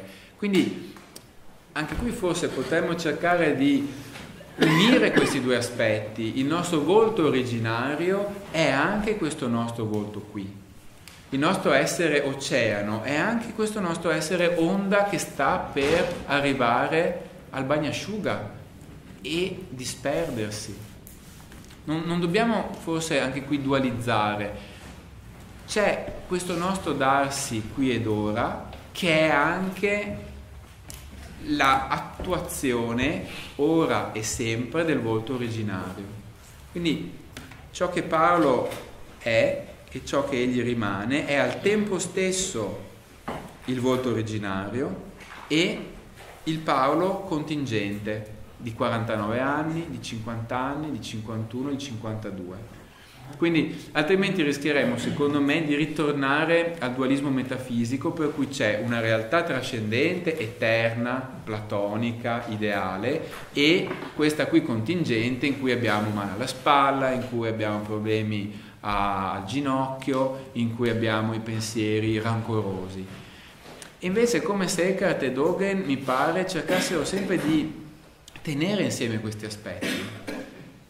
Questa nostra realtà limitata è già il regno, il regno è qui in mezzo a voi, vuol dire non aspettate di morire sperando che poi ci sia qualcosa dopo, non è qualcosa dopo il tempo, l'eternità L'eternità è nel tempo, nelle pieghe del tempo. Ogni istante di tempo apre l'eternità. Ogni nostro istante di volto che si fa con queste rughe in più, con questi capelli bianchi che aumentano, è espressione del volto di prima di quando fossimo nati. Non è che prima c'è quel volto bello, perfetto, immutabile e poi ci sono queste sue variazioni più o meno piacevoli ma le variazioni sono anche modi dell'Eterno. L'Eterno non è al di là dei modi. è un po' spinoziano come discorso, però a me aiuta a pensare questo, cioè il Dio di Spinoza è il Dio come struttura della natura, di tutto l'esistente, che non è altro dagli infiniti modi attraverso i quali questa natura si dà. E in questo senso mi, mi verrebbe da dire che appunto c'è questa eh, tensione dialettica che però è anche unità profonda di temporalità e di eternità di ciò che eravamo prima di nascere di ciò che siamo in ogni momento del tempo che ci è dato di vivere. Si potrebbe dire che in ogni momento della nostra vita è presente tutta la nostra vita. Anche, anche.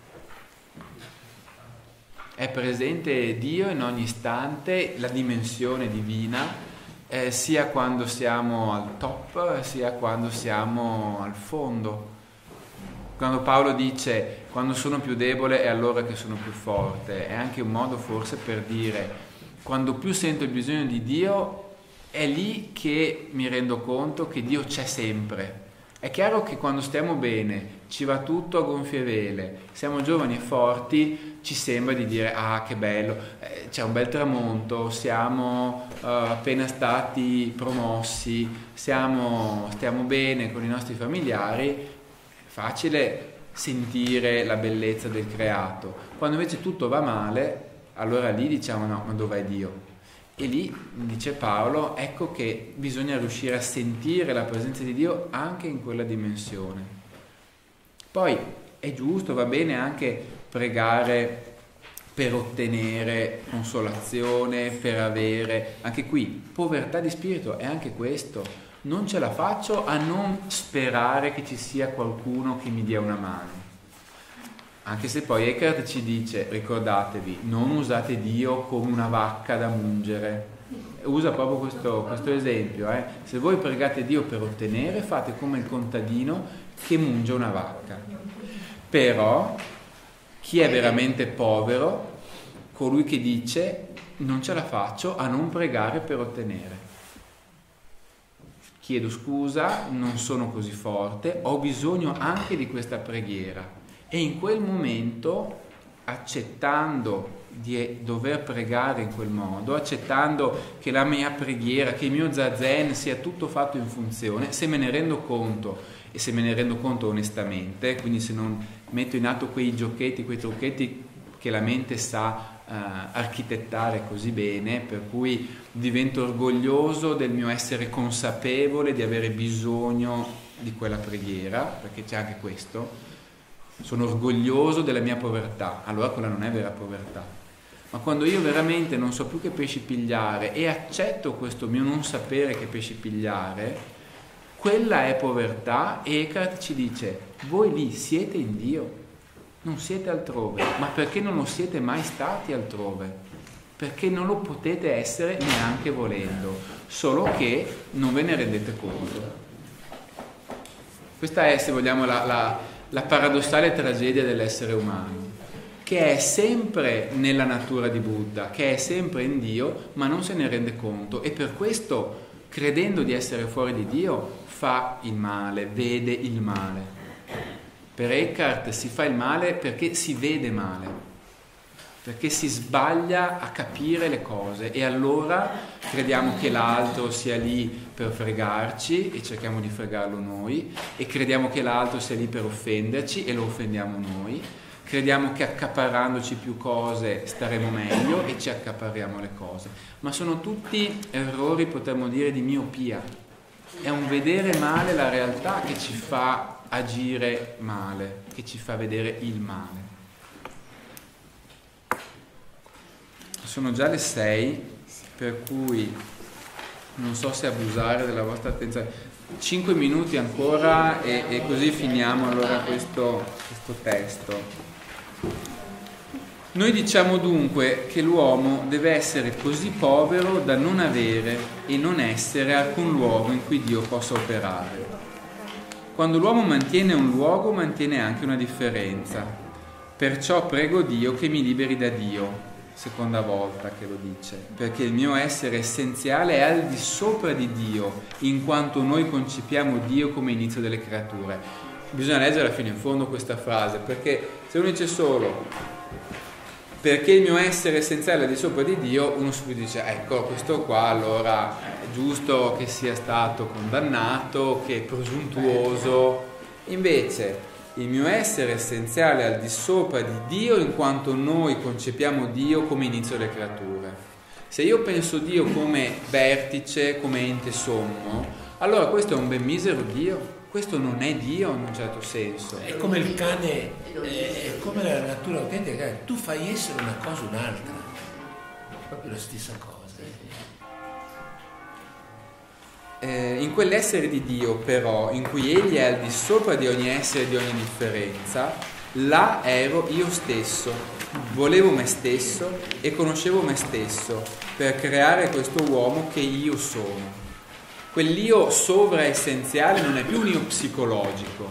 Qui è importante anche eh, avvertire la differenza tra il sé del fondo abissale di Dio, in cui coincide ogni singolo sé con il sé della totalità divina, e il sé psicologico, l'io, l'ego, che è quello che ci caratterizza in questa fase, diciamo, della nostra esistenza.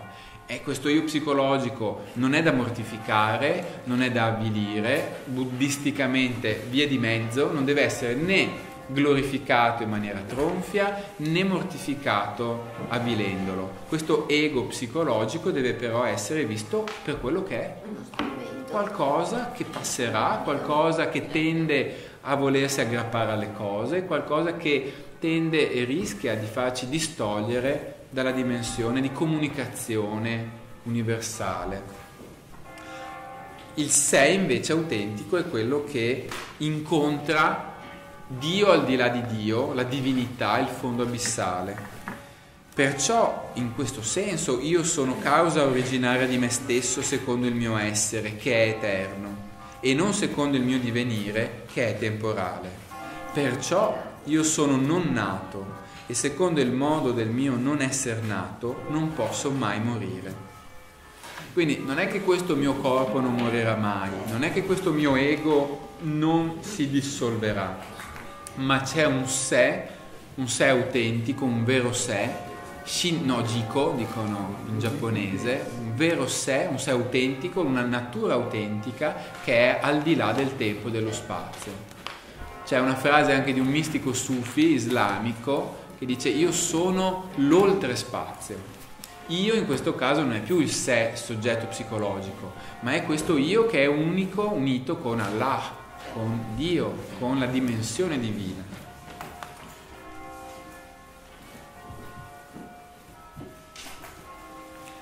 Secondo il, mio, secondo il modo del mio non essere nato, io sono stato in eterno e sono ora e rimarrò in eterno. Cosa invece sono secondo il mio essere nato, dovrà morire ed essere annientato perché è mortale e perciò deve corrompersi col tempo. Nella mia nascita eterna nacquero tutte le cose e io fui causa originaria di me stesso e di tutte le cose. E se non lo avessi voluto, né io né le cose sarebbero. Ma se io non fossi, neanche Dio sarebbe. Io sono causa originaria dell'essere Dio da parte di Dio se io non fossi Dio, non sarebbe Dio. Ma non è necessario capire questo, eh. non vi preoccupate. Vi dice, ma non è necessario capire questo. Cioè, io vi dico questo. Sì. Beh, io lo trovo molto misericordioso anche, nel senso, c'è questo continuo saper eh, collocarsi di fronte a delle persone che... Perché solipsismo? Eh, allora, qui apriremo un grande capitolo che adesso l'ora è tarda e ci impedisce di aprire, però da un lato qui c'è, si potrebbe intendere, interpretare secondo un filone di idealismo assoluto. Tutto nasce con l'io, tutto deriva dall'io, perché se non c'è l'io non ci sarebbe questo bicchiere, è l'io che pensa, che vede, l'oggetto si costituisce in rapporto al soggetto ad un io però non psicologico ma trascendentale, direbbe Kant o direbbe Husserl.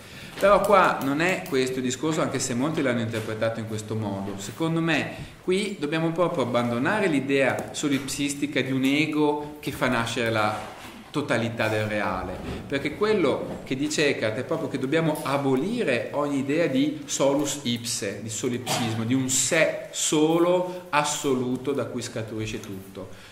Quel sé da cui scaturisce tutto è lo stesso tutto. Da questo, dal punto di vista dell'evento, io, Dio e mondo siamo un'unica cosa. La Trinità è uno, io, Dio, anche Vito Mancuso parla di queste cose in alcuni suoi libri. Io, Dio e cosmo, uomo, mondo e cosmo, il cosmoteandrismo anche di Panica, dice che queste tre cose sono co-originarie, co-appartenenti. Quindi io ci sono e perché ci sono io c'è Dio e c'è il mondo, ma viceversa, ci, poiché c'è mondo c'è Dio e ci sono io, e poiché c'è Dio ci sono io e c'è mondo. Quindi è una circumincessio, una, una circolarità, una circolazione continua in cui non c'è nemmeno una causa originaria, non c'è un inizio da cui poi tutto il resto procede, ma c'è questa sorta di processualità dinamica continua. Quindi anche l'idea che ci sia un sé, un io roccioso, autonomo, autentico, da cui poi le cose procedono, è proprio ciò che invece dobbiamo sciogliere lasciar riassorbire in questa dimensione relazionale. Com'è che interpreti quella parte di Dio? Quando dice che io sono causa originaria dell'essere Dio, da parte di Dio. Forse la possiamo, la possiamo intendere mh, mm, pensando a questa specularità.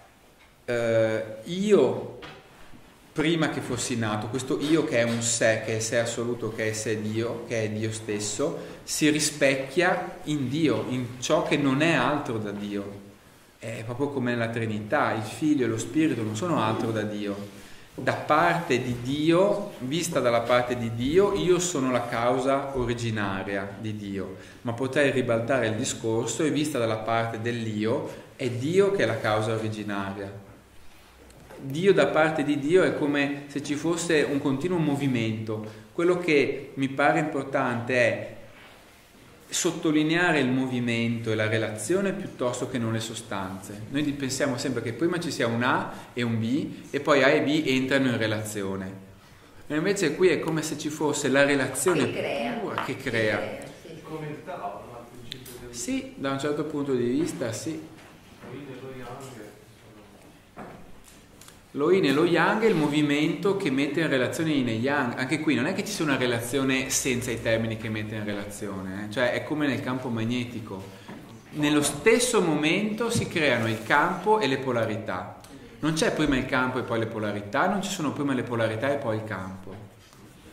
Quindi la domanda dell'origine è una domanda mal posta perché non c'è un'origine, c'è un continuo squadernarsi di quinte di tempo. Ogni volta che io credo di aver trovato l'origine, la dico e in realtà mi è sfuggita sullo sfondo, perché nel momento in cui l'ho detta, l'ho irrigidita, l'ho reificata, l'ho sostanzializzata, ma la vera origine non è quella cosa che io dico, non è il Big Bang, non è eh, Dio prima del tempo, quel Dio che io dico essere origine è già una creazione del mio pensiero. Infatti potremmo anche qui dire con Vangelo di Giovanni, in principio era il Logos. Anche Panica dice, il Logos era in principio, ma non era il principio. Io come essere umano devo partire dal Logos, non riesco a risalire al di qua di esso, perché ogni volta che cerco di farlo trovo ancora Logos io cerco di uscire dal mondo, ma ogni punto che credo essere fuori dal mondo è ancora mondo. Arrivo ai confini del mondo, cosa faccio? Metto fuori la mano, trovo ancora mondo, trovo ancora una dimensione di spazio. Quindi in, il principio non è dicibile, non è pensabile, è superiore al pensiero, non è da pensare. È come l'incipit ebraico della, della Bibbia, Bereshit, che è la, come una specie di, di C, eh, e molti esegeti dicono da lì inizia la Bibbia, da lì inizia la creazione, ma la, uh, il bet um, della, della, scrittura ebraica, che appunto è chiuso, a sinistra, è chiuso a destra e aperto a sinistra, perché appunto si legge, si scrive da destra a sinistra, pone come dire un limite alla possibilità del dicibile. Da quel momento in poi c'è Genesi, Bereshit in principio, ma al di qua del principio eh, non, non, si può pensare. Ogni volta che provo a pensarlo è ancora pensiero, è, è già mondo. Chiudiamo e... Però queste, queste considerazioni eh, prese soltanto come nozioni, eh, si direbbe in giapponese proprio eh, mottainaio, ossia sarebbe proprio un, uno sperpero. Queste, questo che oggi ci è dato di, a cui ci è dato di aprirci, no? veramente credo che sarebbe uno sperpero, ecco, terminassero qua se, se, se questa apertura che la, il fondo di tutto, ciascuno di noi è il fondo di tutto. E questa nobiltà anche del, della realtà. No? E, davanti anche allo scorrere della storia oggi, è un peccato se noi andassimo a casa e non sentissimo quello che il buddismo chiama risveglio o il Vangelo chiama risurrezione o rigenerazione, no? proprio già nella nostra vita stessa.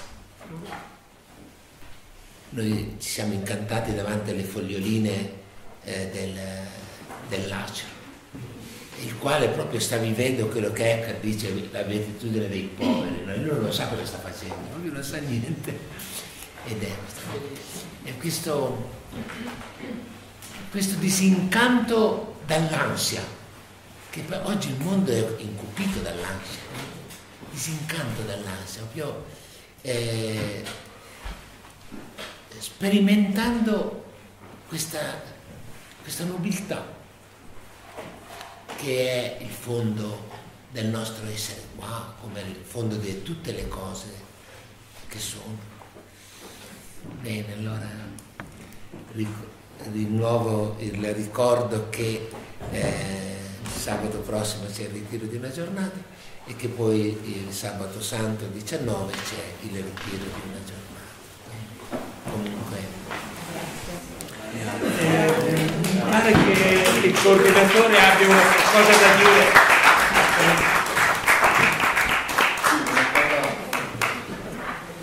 Molto veloce. La, la cosa che volevamo condividere è che ci sembra che questi incontri molto intensi oggi in particolare credo molto intenso, eh, però stiano muovendo qualche cosa. E che, come diceva Padre Luciano, stiano generando qualche cosa di bello, di prezioso. Per cui ehm, si era pensato di proseguire anche dopo il termine di, di, questo, di questo ciclo di sette sabati, in particolare di avere un programma per l'anno prossimo, ehm, su cui ci sono un po' di ragionamenti sulla formula da adottare, sulle modalità migliori, probabilmente eh, si stava pensando anche di dare un po' più di spazio a una discussione eh, più ampia con le persone in modo che sia più a due vie. Eh, di, di, di quanto sia successo in questo percorso, che però comunque eh, preveda uno schema simile con uh, uno studio di autori e una riflessione di questo tipo, con Marcello che avrà più impegni ma che eh, cercherà di trovare lo, lo spazio del tempo spontaneamente. senza volere volevamo, senza sapere. Esatto. Volevamo chiedere, adesso ovviamente è presto perché la cosa è un po' in riflessione, però volevamo chiedere se anche da parte vostra eh, questo interesse c'è nel proseguire anche eh, dopo questa, questo, questo percorso pianificato.